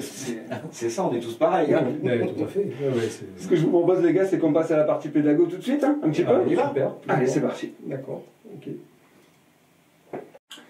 Donc, les amis, euh, on va passer à la partie pédago. La partie pédago, parce que ben, donc Jean-Marie tout à l'heure on a dit que qu'on s'était rencontrés déjà à travers l'école de musique, et que donc tu es enseignant bien évidemment, enfin bien évidemment, euh, des artistes qui ne sont pas enseignants, mais donc tu, tu as les deux casquettes, et ce depuis très longtemps, et tu as même été directeur d'une école. euh, tu, tu peux un peu nous, nous raconter cette partie-là? Bah, en fait, ouais, j'enseigne depuis plus. J'enseigne. euh, je transmets. Je préfère dire, je transmets ma passion. oui. J'enseigne chaque fois, il y a un truc qui m'est. Ouais, c'est dur. C'est de la, c'est peut-être de la coquetterie, mais bon, je, je, je transmets, j'essaie de transmettre ma passion depuis plus de 30 ans, tu vois. Et euh, voilà. En fait, euh, à l'époque, j'avais le choix. euh, j'ai eu le choix entre partir faire de du bal, de la variété, tout ça, ce qui est super. Mais moi, ça me convenait pas. J'ai préféré euh, enseigner à cette période, et donc j'ai emboîté ce, ce truc-là. Voilà, c'est vraiment un choix personnel. Et donc, c'est vrai que depuis plus de 30 ans, j'enseigne la guitare, l'improvisation, et puis euh, j'enseigne à des débutants aussi, c'est pas que, que, que l'improvisation. Et aussi euh, tout, le travail, tout le travail de groupe, quoi, tu vois, euh, collectif, euh, en groupe. Je fais des stages aussi sur des sujets après plus, plus, pointu, comme, oui, euh, oui, comme tu as fait l'été dernier, ou il y a deux ans, il y a Ouais, deux ans. ouais, C'était ouais, il y a deux ans, a- je me souviens, oui. C'était un très beau stage. euh, carré- carrément, tu vois. Et je, et je, c'est très souvent, alors c'est sur l'improvisation et l'accompagnement au travers d'une méthode que j'ai que j'ai euh, conçue il y a longtemps déjà, qui s'appelle progression harmonique, qui est sur un travail euh, d'accompagnement très élaboré euh, ou d'harmonisation de thèmes ou de Mhm. jeu tout en accord en solo, guitare solo. Enfin voilà, oui, oui. Il y a un site internet hein, où, euh, où on peut trouver ça, où on peut s'inscrire aussi. Il y a des, euh, il y a des formules aussi, je modules. crois, ou ouais, des modules, des choses comme ça, hyper Ouais. intéressantes. Donc moi, je sais que j'ai eu la chance de Oui. pour être inscrit dedans. J'ai fait les deux premières vidéos. Ouais, ouais, ouais. J'en ai déjà pour 10 ans par vidéo. Donc c'est fabuleux. Vous en avez pour vraiment du temps. hein, c'est bien. Ah, Bah, c'est super. C'est super. Les, les progressions, c'est un travail, euh, un travail que moi aussi je poursuis parce que ça n'a pas de fin. hein. Tout le travail pour, euh, pour développer l'accompagnement, pour improviser un accord, pour, euh, pour jouer en guitare solo, enfin, c'est c'est super riche. Et il y a en fait cette méthode, une partie, une petite partie de cette méthode a été. euh, on a fait un programme sur une, une plateforme qui s'appelle Musive Mhm. et qui accueille donc les six premiers modules de cette méthode. Voilà, pour un programme qui est, qui est disponible. Après, cette méthode, je la vends aussi. J'ai la méthode. Ah, qui- tu l'as en physique Ouais, ouais, je l'ai Ah, en physique. tu l'as en physique, je aussi, savais pas. Si, si, si, on j'ai la- méthode physique, je Ok. vous- je vous la ferai passer. D'accord. Donc, je la- Et je fais très souvent des stages sur deux ou trois jours sur ce sujet où on travaille. Tu sais en fait de la méthode comme support. C'est euh, ça. D'accord. Ouais, ouais, ouais. Ah, hyper intéressant. Voilà, ouais, ouais. D'accord. Bon. On rentre pas dans les détails parce que Oui, sinon, oui, non, non, non, après. euh, oui, oui, il faudrait. Putain, mais je sais, euh, vu, j'étais vigilant, Oui, oui, je me suis oui, oui. pourvu qu'il n'y en ait aucun qui, qui, qui demande alors Je quels sont les sujets des progressions. Et alors là, bah, on va commencer par ben, l'accord majeur, hein, le fameux. Donc j'ai vu la première vidéo qui, qui dure euh, un petit moment, un petit quart d'heure peut-être. Oui, oui, oui, oui. Sur la progression majeure qui est très intéressant. Donc, pour le coup, vraiment, c'est super intéressant. Et si on le développait là, ouais, ça serait très Non, non, compliqué. vraiment. Donc nous, on on a choisi un petit, un petit thème commun. Euh, alors on n'est quand même pas parti sur, euh, sur euh, Highway to Hell d'ACDC, bien évidemment. On a essayé de trouver quelque chose où tout le monde pouvait se retrouver. Et de toute façon, pour ça, on a invité Angus Young dans très peu de temps, donc on parlera plus. Il, fait- il en parlera très bien. Tout à fait, Voilà. Il beaucoup, parlera beaucoup très bien, que nous. Angus. Donc nous, ouais, ouais, hein. voilà. Un Et- qui connaît bien. ouais, ouais, ouais, ça va. Ouais. Ça va envoyer donc, euh, voilà, parce que oui, parce qu'il y avait un off euh, assez intense sur, sur les explications, c'est pour Ouais. ça que Mm. Il y a des, il y a des choses qui se créent là. Bon, et, et donc on va prendre un, un thème de, de Kenny Garrett.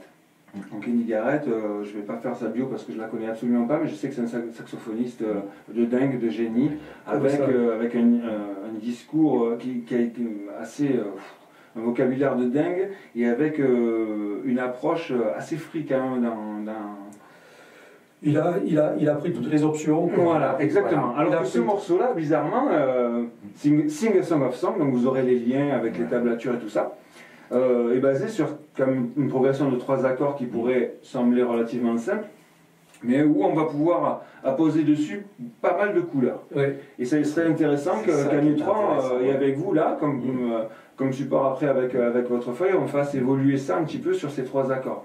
Alors, on pourrait prendre vraiment les accords de base si vraiment. Mm. Alors, normalement, il y a une contrebasse qui, qui fait vraiment un truc Oui, très oui, particulier, un tonique et quinte. euh, Alors, c'est-à-dire. alors, il fait même pas tonique quinte, il fait la tonique quinte et tierce. Et la tierce Tout à fait. Le piano. D'accord C'est-à-dire un majeur, un do majeur.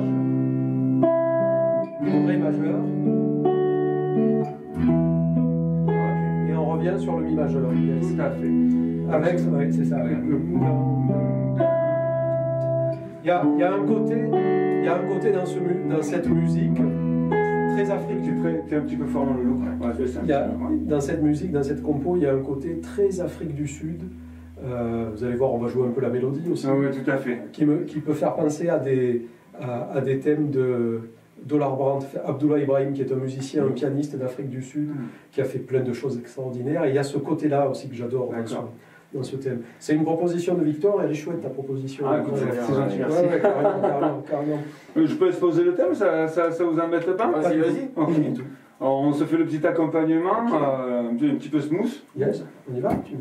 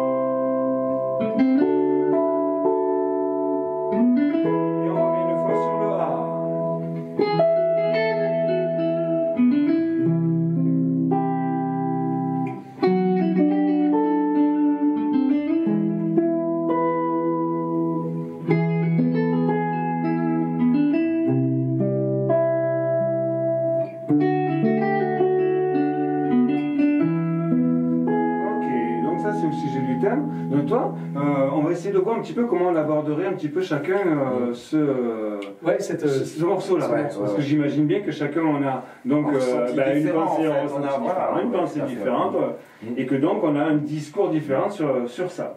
yes. Euh, comment on pourrait euh, agencer ça, Jean-Marie Ah ben on pourrait ça. euh, en Dis-moi tout. on a trois accords. hein. On a mi, do Mi majeur, Do majeur, Ré majeur. On a, on a juste ces infos pour démarrer. Ce que je propose, euh, la, la première étape pour improviser là-dessus, ça serait vraiment de partir totalement à l'oreille là-dessus et de chercher sur sur ce qu'on appelle des notes pivots, c'est-à-dire on trouve une note, on sent qu'elle marche bien, on s'y installe, avant de passer à quelque chose de, de plus, de plus pensé, plus, voilà. tu vois, de partir là-dessus. Tu veux bien, tu veux bien On essayer, essayer, Steph ouais, bien on, sûr. part, on part là-dessus Ouais. hein? Ok, super. On part? Donc on le laisse évoluer un petit Ouais. peu sur, euh, sur Ouais, le ouais. film. Hein, ça te, ça te va? On Allez, super. Ça marche. On te lance un petit accompagnement tout doux. Yes. Ok. On y va? Ah, je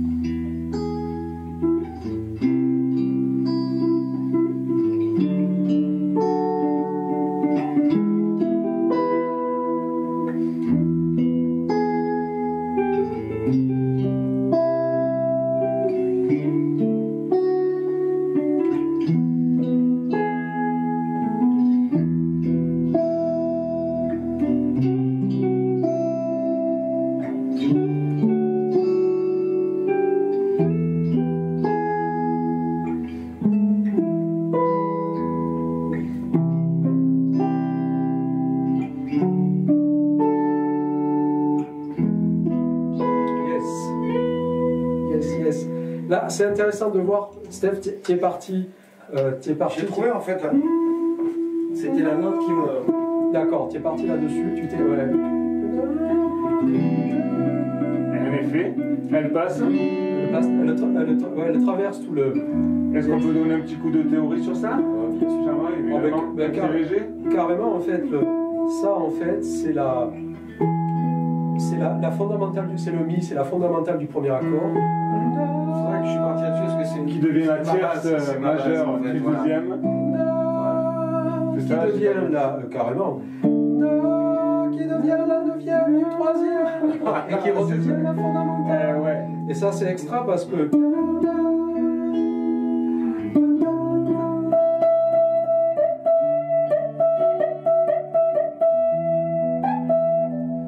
On peut traverser.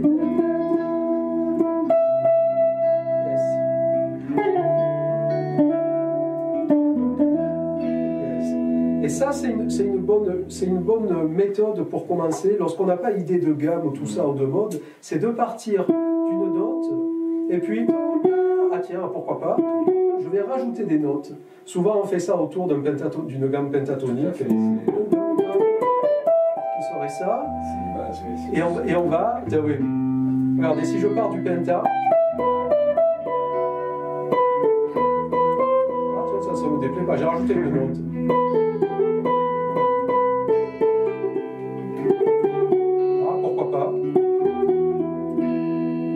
Pense en fait qu'une seule gamme.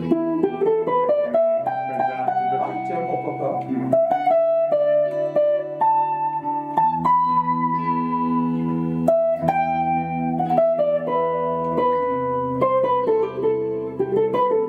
Ah, ouais, pourquoi pas. Tu veux dire que donc ton processus c'est je pars d'une gamme connue et j'y ajoute dessus des notes que pour l'instant je ne sais pas encore quelle, euh, quelle fonction théorique elles ont. Carrément. Je fonctionne à l'oreille à fond. D'abord. Je fonctionne. Et je trouve que c'est. Et tu parles d'un squelette. Exactement. part, euh, tu parles de pentatonique.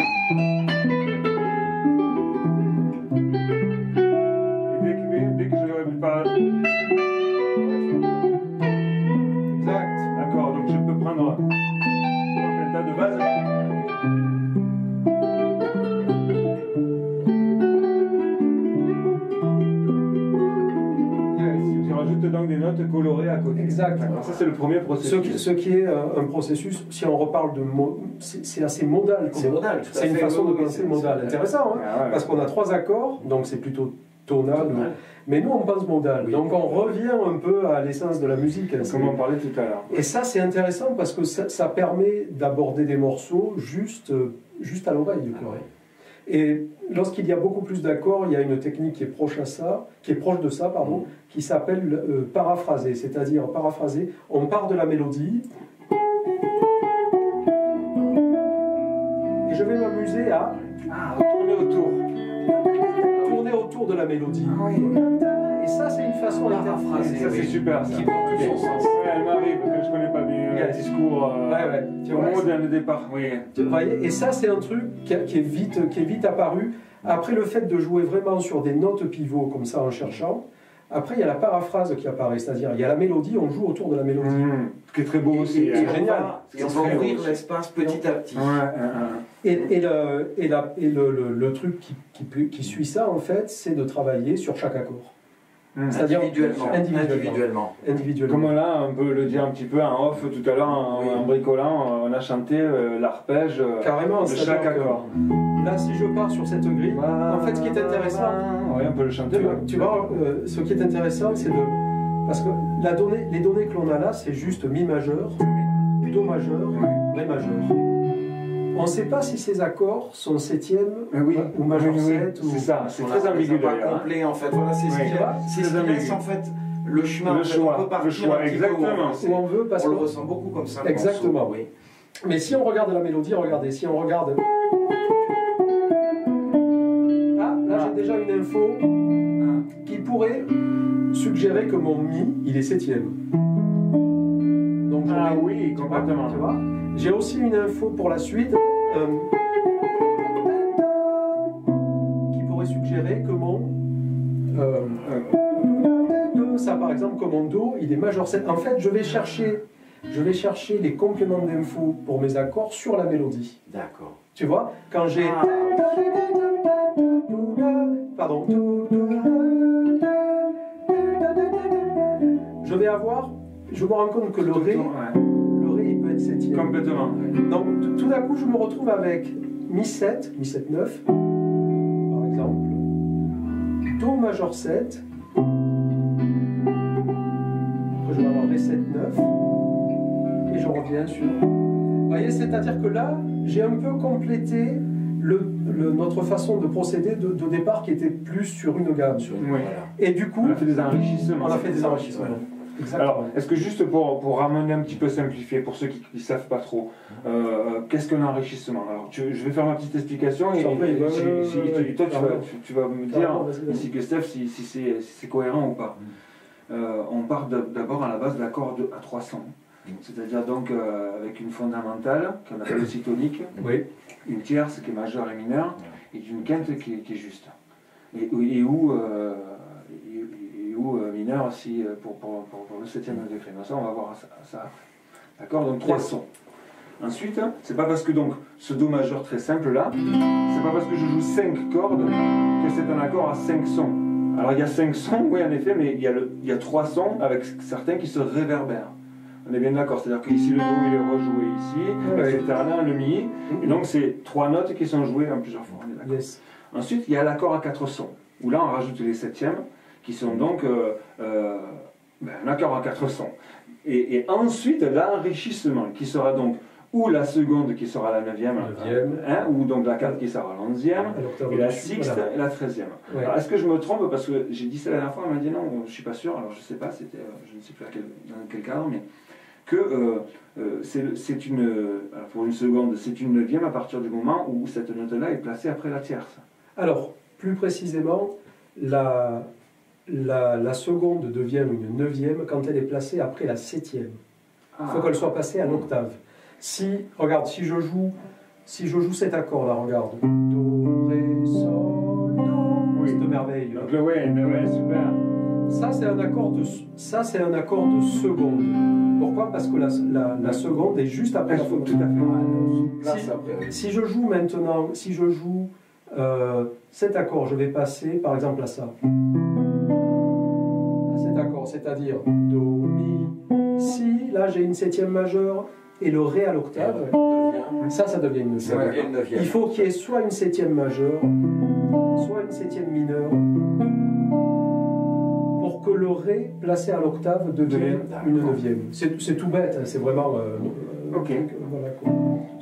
Non, mais c'est euh, voilà, c'était pour faire quand même une Ouais, ouais, petite ouais. aparté. euh. Une petite aparté théorique un petit peu sur ça. Et donc là, on parle que donc sur les accords principaux à trois sons, Mi majeur, Do majeur, Ré majeur, Donc là, on est passé sur euh, et des accords à quatre sons et des accords à enrichissement. C'est ça, en fait, on, ouais, c'est ça. On est passé déjà sur des accords à quatre sons, c'est-à-dire que le Mi est devenu Mi septième, devenu Do majeur 7, parce qu'on a rajouté la septième ou la septième majeure de chaque accord. Le Ré est devenu Ré 7, et je reviens sur le Mi. C'est des infos en plus qui vont nous aider. Qui vont te, dans le cheminement, en fait, qui vont te permettre Exactement, qui vont d'avancer. Euh. Et après, je peux, comme tu dis, passer à un enrichissement supplémentaire qui va être la neuvième sur l'accord de Mi. Oui. Alors, je pourrais aussi rajouter la, la neuvième sur l'accord de Ré.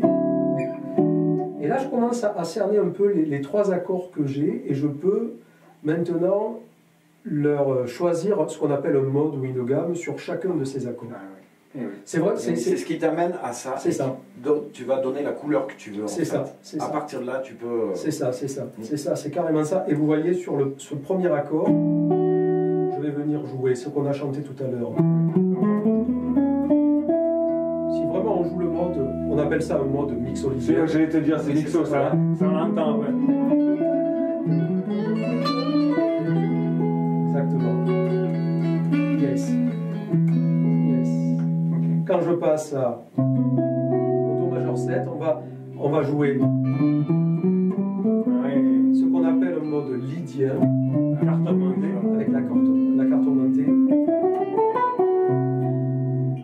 Sur le 7, je vais la faire la même chose que sur le Mi 7. C'est un mode mixolydien qui fait.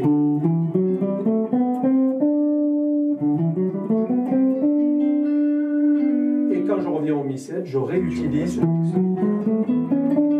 Et qu'est-ce qui se passe à partir de là? Ça, c'est vachement intéressant. C'est que si ça reste tel quel, bon, ouais, d'accord, c'est des, des modes. Oui. Ce qui va devenir intéressant, c'est de d'enchaîner ces modes, euh, de passer de l'un à l'autre de façon musicale. Oui, c'est ça. Qui va devenir, qui va Ouais. devenir de euh, trouver le pivot, en fait, qui va te Exactement. faire. Et donc il y a des notes qui, euh, sur qui un- vont aider à pouvoir passer de l'une à l'autre. exactement parce qu'il va, il va y avoir soit des notes communes à chaque accord, soit des notes modulantes, et je vais passer, je vais connecter. En fait, c'est une histoire de connexion. Connexion.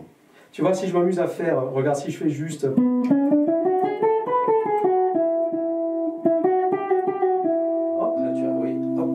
Passé, Ouais. en fait. On euh, l'entend en plus. on On l'entend, on Avant même d'avoir fait la J'ai qu'une note qui a changé. Si je fais.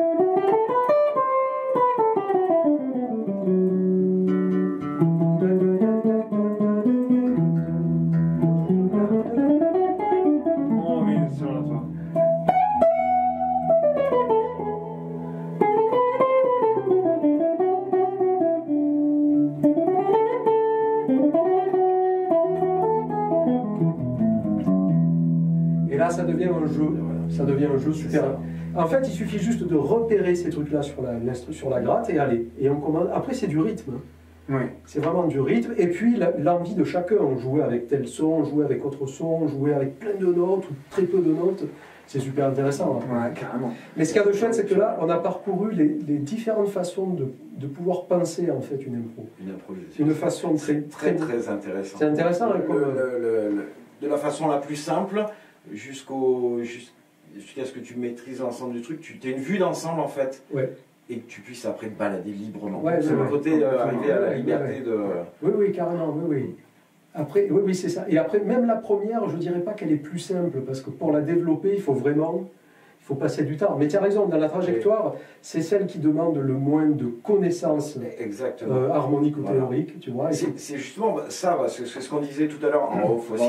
c'est qu'en fait, on a, on a des, des niveaux différents. Moi, j'ai un niveau qui est assez, euh, qui est assez basique parce que je travaille beaucoup à l'oreille, j'ai assez peu de Oui, théorie. puis sur ça, en tout cas sur l'improvisation, Sur c'est-à-dire qu'on a des, des- des voilà, forces à c'est des endroits et des endroits où on a des lacunes. Hein. C'est- c'est-. La musique est tellement vaste. c'est ce qui. Permet, moi, justement, cette, cette première note pivot et tout, qui va fonctionner sur tout, tout le truc. Déjà, ça m'ouvre l'oreille, c'est- une base pour moi. Yes. Et c'est ce que je disais après, je passe sur le, Et tu le truc d'aller rajouter des notes Yes. Ouais, ouais. jusqu'à avoir ce qu'on appelle une box en fait. Ouais. Je vais travailler dans une box parce que c'est confortable. Ouais. Ouais, ouais, ouais, ouais. Moi, je vais me limiter à ça. Ouais, c'est- très bien. Ouais. Ouais, ouais, ouais. Et après la boxe, on, l'a, on l'a éteint dans d'autres choses. Mais ouais. Euh, après, avec le goût de chacun, d'ailleurs, ça me fait penser. Si vous voulez, on essaye de se faire un. Allez, c'est pas très long, mais on se fait une petite capsule d'une petite minute Yes. ensemble et on essaie Allez. de faire un petit discours Allez. chacun. c'est parti. On fait quoi l'ordre Comme vous voulez, les gars. Euh, Comme vous voulez. Allez.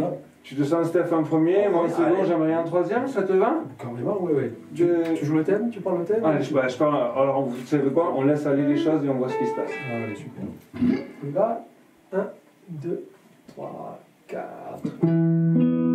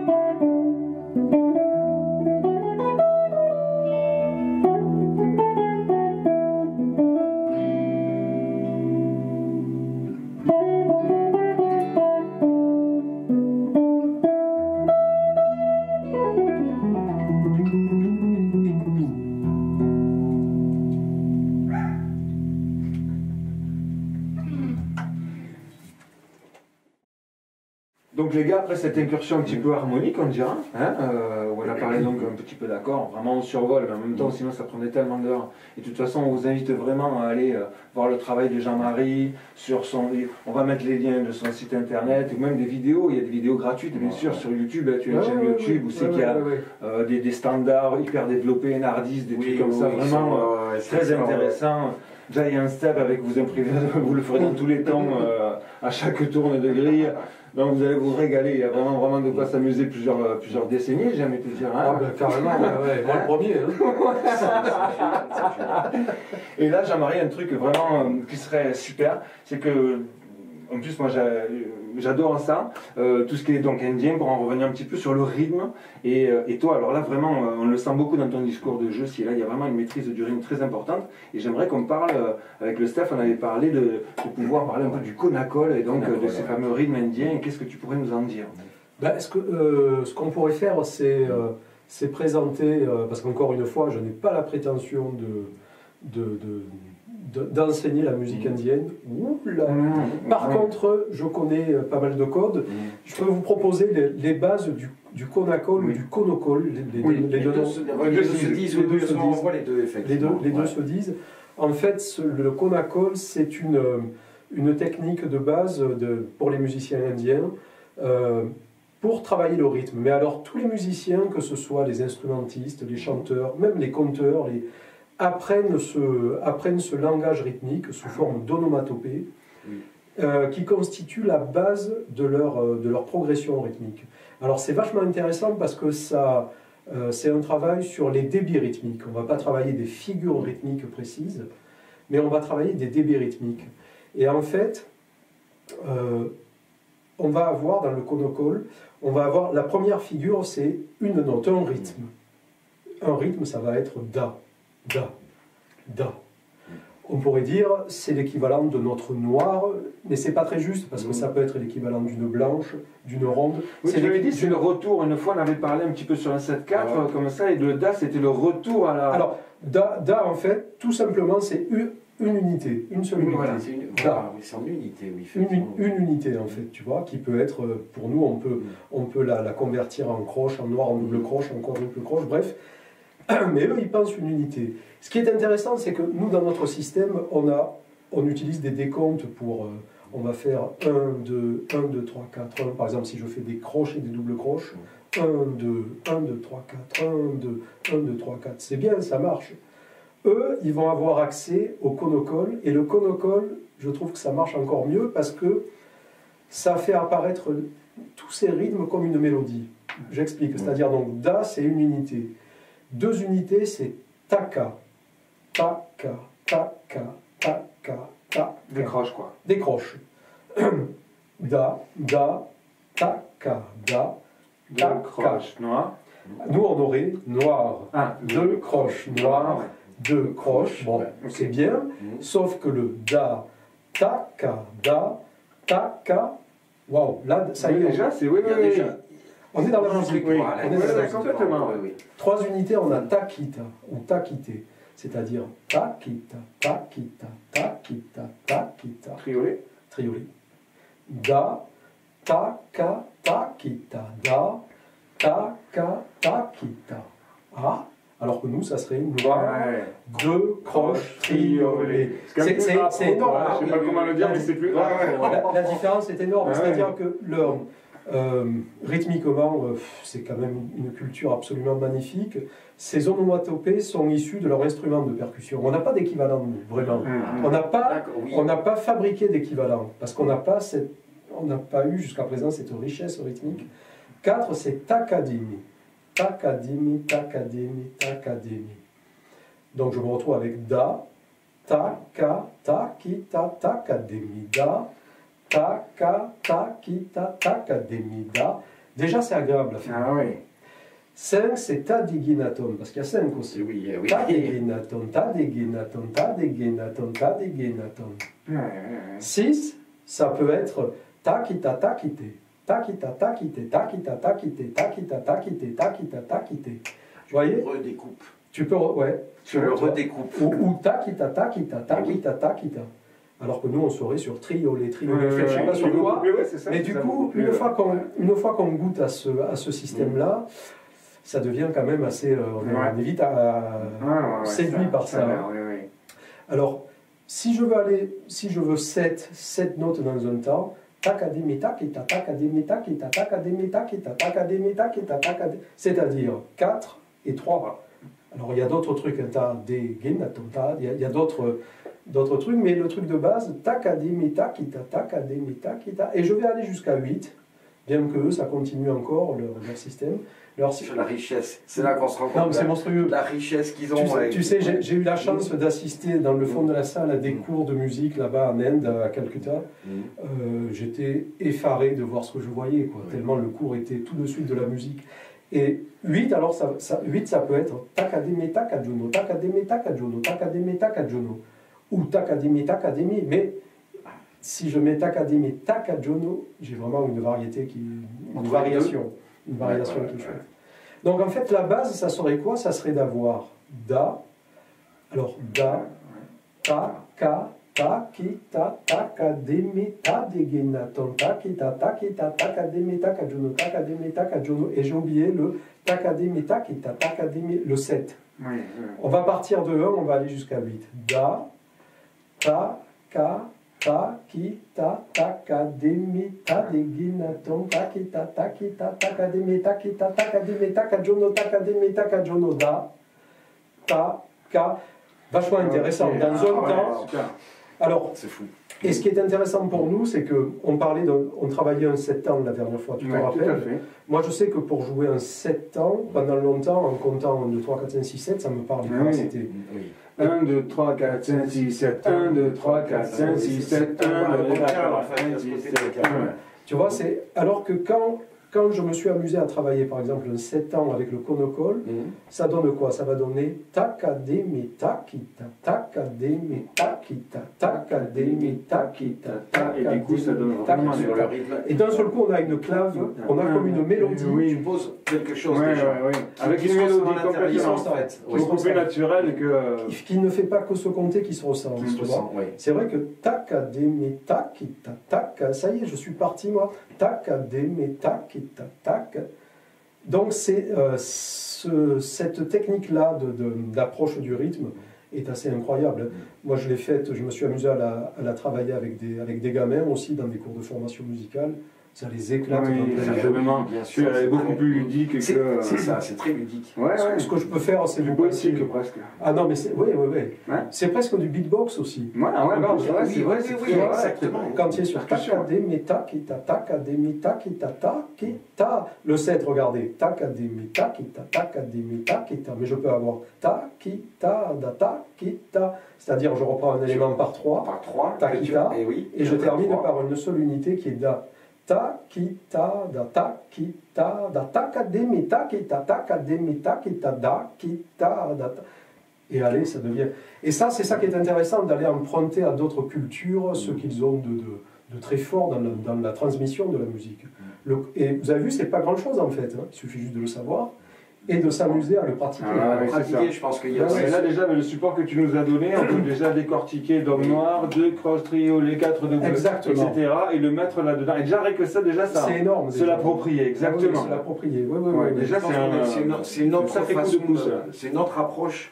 Donc ça change Mm, aussi. mm, Là, mm. quand on a l'instrument dans la main, peut-être aussi la façon dont on, on- on va jouer. Est-ce qu'on va le vivre, on va le ressentir. Donc on, Oui, c'est ça. on va être beaucoup plus, plus, dire, plus proche du rythme, plus dans le truc. Oui, quoi. plus dans le truc, c'est plus Ah, organique ça. en fait. C'est- Voilà, ça vient. ouais. C'est plus organique, c'est beaucoup plus organique que de compter 1, 2, 3, 4. Quatre. Ça marche aussi, hein. il, y a, il y a Bien plein, il y a plein de musiciens qui ont développé ça sans connaître la musique indienne, pas. Mais qu'est-ce que c'est intelligent comme système. Et là, on est juste sur la base de leur système. Après, il y a ce qu'on appelle les bols, ou les balls, je sais Oui, pas, oui. qui sont alors toutes les. Là, on n'est que sur des débits rythmiques. Après, il y a des choses encore plus précises sur des figures rythmiques issues des percussions, du tabla. Enfin, c'est c'est absolument Mhm. extraordinaire. hein. Vraiment, Mais- ouais, ouais, ouais, ouais. euh, super. euh, Ça, c'est une je trouve que c'est une chouette euh, clé, C'est ce ça, ouais, pour, ouais. pour faire des. Bah, sur Des sur la première vidéo qu'on avait faite euh, justement sur Tigrana Massian. Oui. Euh, la- toute cette partie était, était travaillée au tout début sur une des vidéos qui nous a permis de le développer un petit peu. C'est vrai. Ah, cette case. Exactement. travaille Ouais, ouais. Exactement. tout en Oui, Ouais, oui, oui, ouais, c'est vrai. Ah oui, oui, oui, carrément. oui, sur oui, une oui. mesure en 17-16. Tout à fait, oui, c'était 18. Voilà, C'est 17-16, oui, c'est Oui, resté oui. celle-là, 17-16, oui. Ouais, ouais, ouais, ouais, ouais, ouais, Il carrément. le fait, euh, c'est c'est du cône-à-colle et ça donne un, un groove. Ouais, ouais. Un groove. Exactement. Donc la- euh, vraiment pour, pour, pour en revenir que la rythmique c'est vraiment euh, la base de la musique, hein, bien Le évidemment. rythme, c'est le rythme, ouais. Le rythme, c'est une, c'est, c'est euh, une partie. Qu'est-ce qu'on on peut, parler de rythme et de son Alors, dans quel sens Son et son, rythme Non, le rythme, c'est vraiment. euh, Ça reste, ouais. ça reste vraiment Une base, euh, oui. une base de, de très importante. Et puis, c'est une base de plaisir aussi. hein. exactement. Quand on commence à. En- Enseigner comme ça, c'est une base de plaisir. Ah oui. Parce qu'on peut le travailler sans instrument. Oui, en plus. Il y a ça c'est le truc qui m'est venu. Absolument. On pas, on le fait, on n'a pas de guitare dans la main. Ouais, ouais, et ouais. pourtant, Oui, oui. On en plus, on peut l'appliquer dans n'importe quoi. C'est-à-dire même quand on aime la musique, bon, avec déjà des décomptes un peu particuliers, peut-être que ça s'y prête plus dans la musique progressive et, progressive et ce genre de Sûrement, trucs. sûrement. Bon, mais c'est déjà plus. euh, Ouais, ouais. C'est vrai que même euh, la, la diction de ça, hein, parce que je, je le pratique un petit peu du coup, du coup, depuis que tu m'as tu me l'as montré, bah, du coup ça, ça amène plus de rigueur même dans le rythme. C'est assez bizarre. c'est, Exactement. euh, Oui, oui, oui, oui. C'est rigolo. hein, Ça, ouais, ça passe toujours par le chant. Et ça, c'est du chant, en fait. Ouais.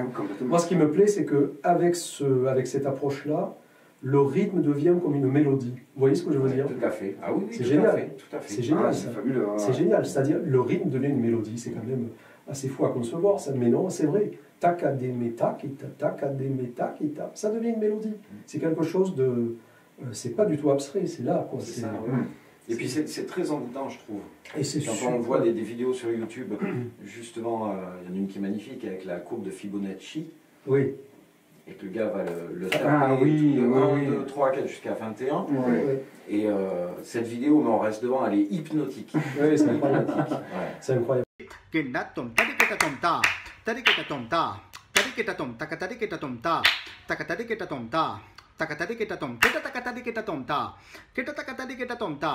Kenatom, tariketa tom ta, tariketa tom ta, tariketa tom, takatariketa tom ta, takatariketa tom ta, takatariketa tom, kita takatariketa tom ta, kita takatariketa tom ta, kita takatariketa tom, takatenda tim, takatenda tim, takatenda takatenda takatenda tim, takatenda takatenda tim, takatenda takatenda takatenda takatenda takatenda tim, takatenda takatenda takatenda tim, takatenda takatenda takatenda C'est incroyable. Mais ils ont, euh, ouais, ouais, Ouais, ils ont, ils ont vraiment un système C'est encore différent euh, des pays africains et tout ça, qui ont aussi un sens profond du rythme, avec ouais. le avant, après le temps et tout Oui, ça, fait des trucs euh, hein, très racinaires. Mais là, on est encore dans une rythmique différente. Euh, ouais.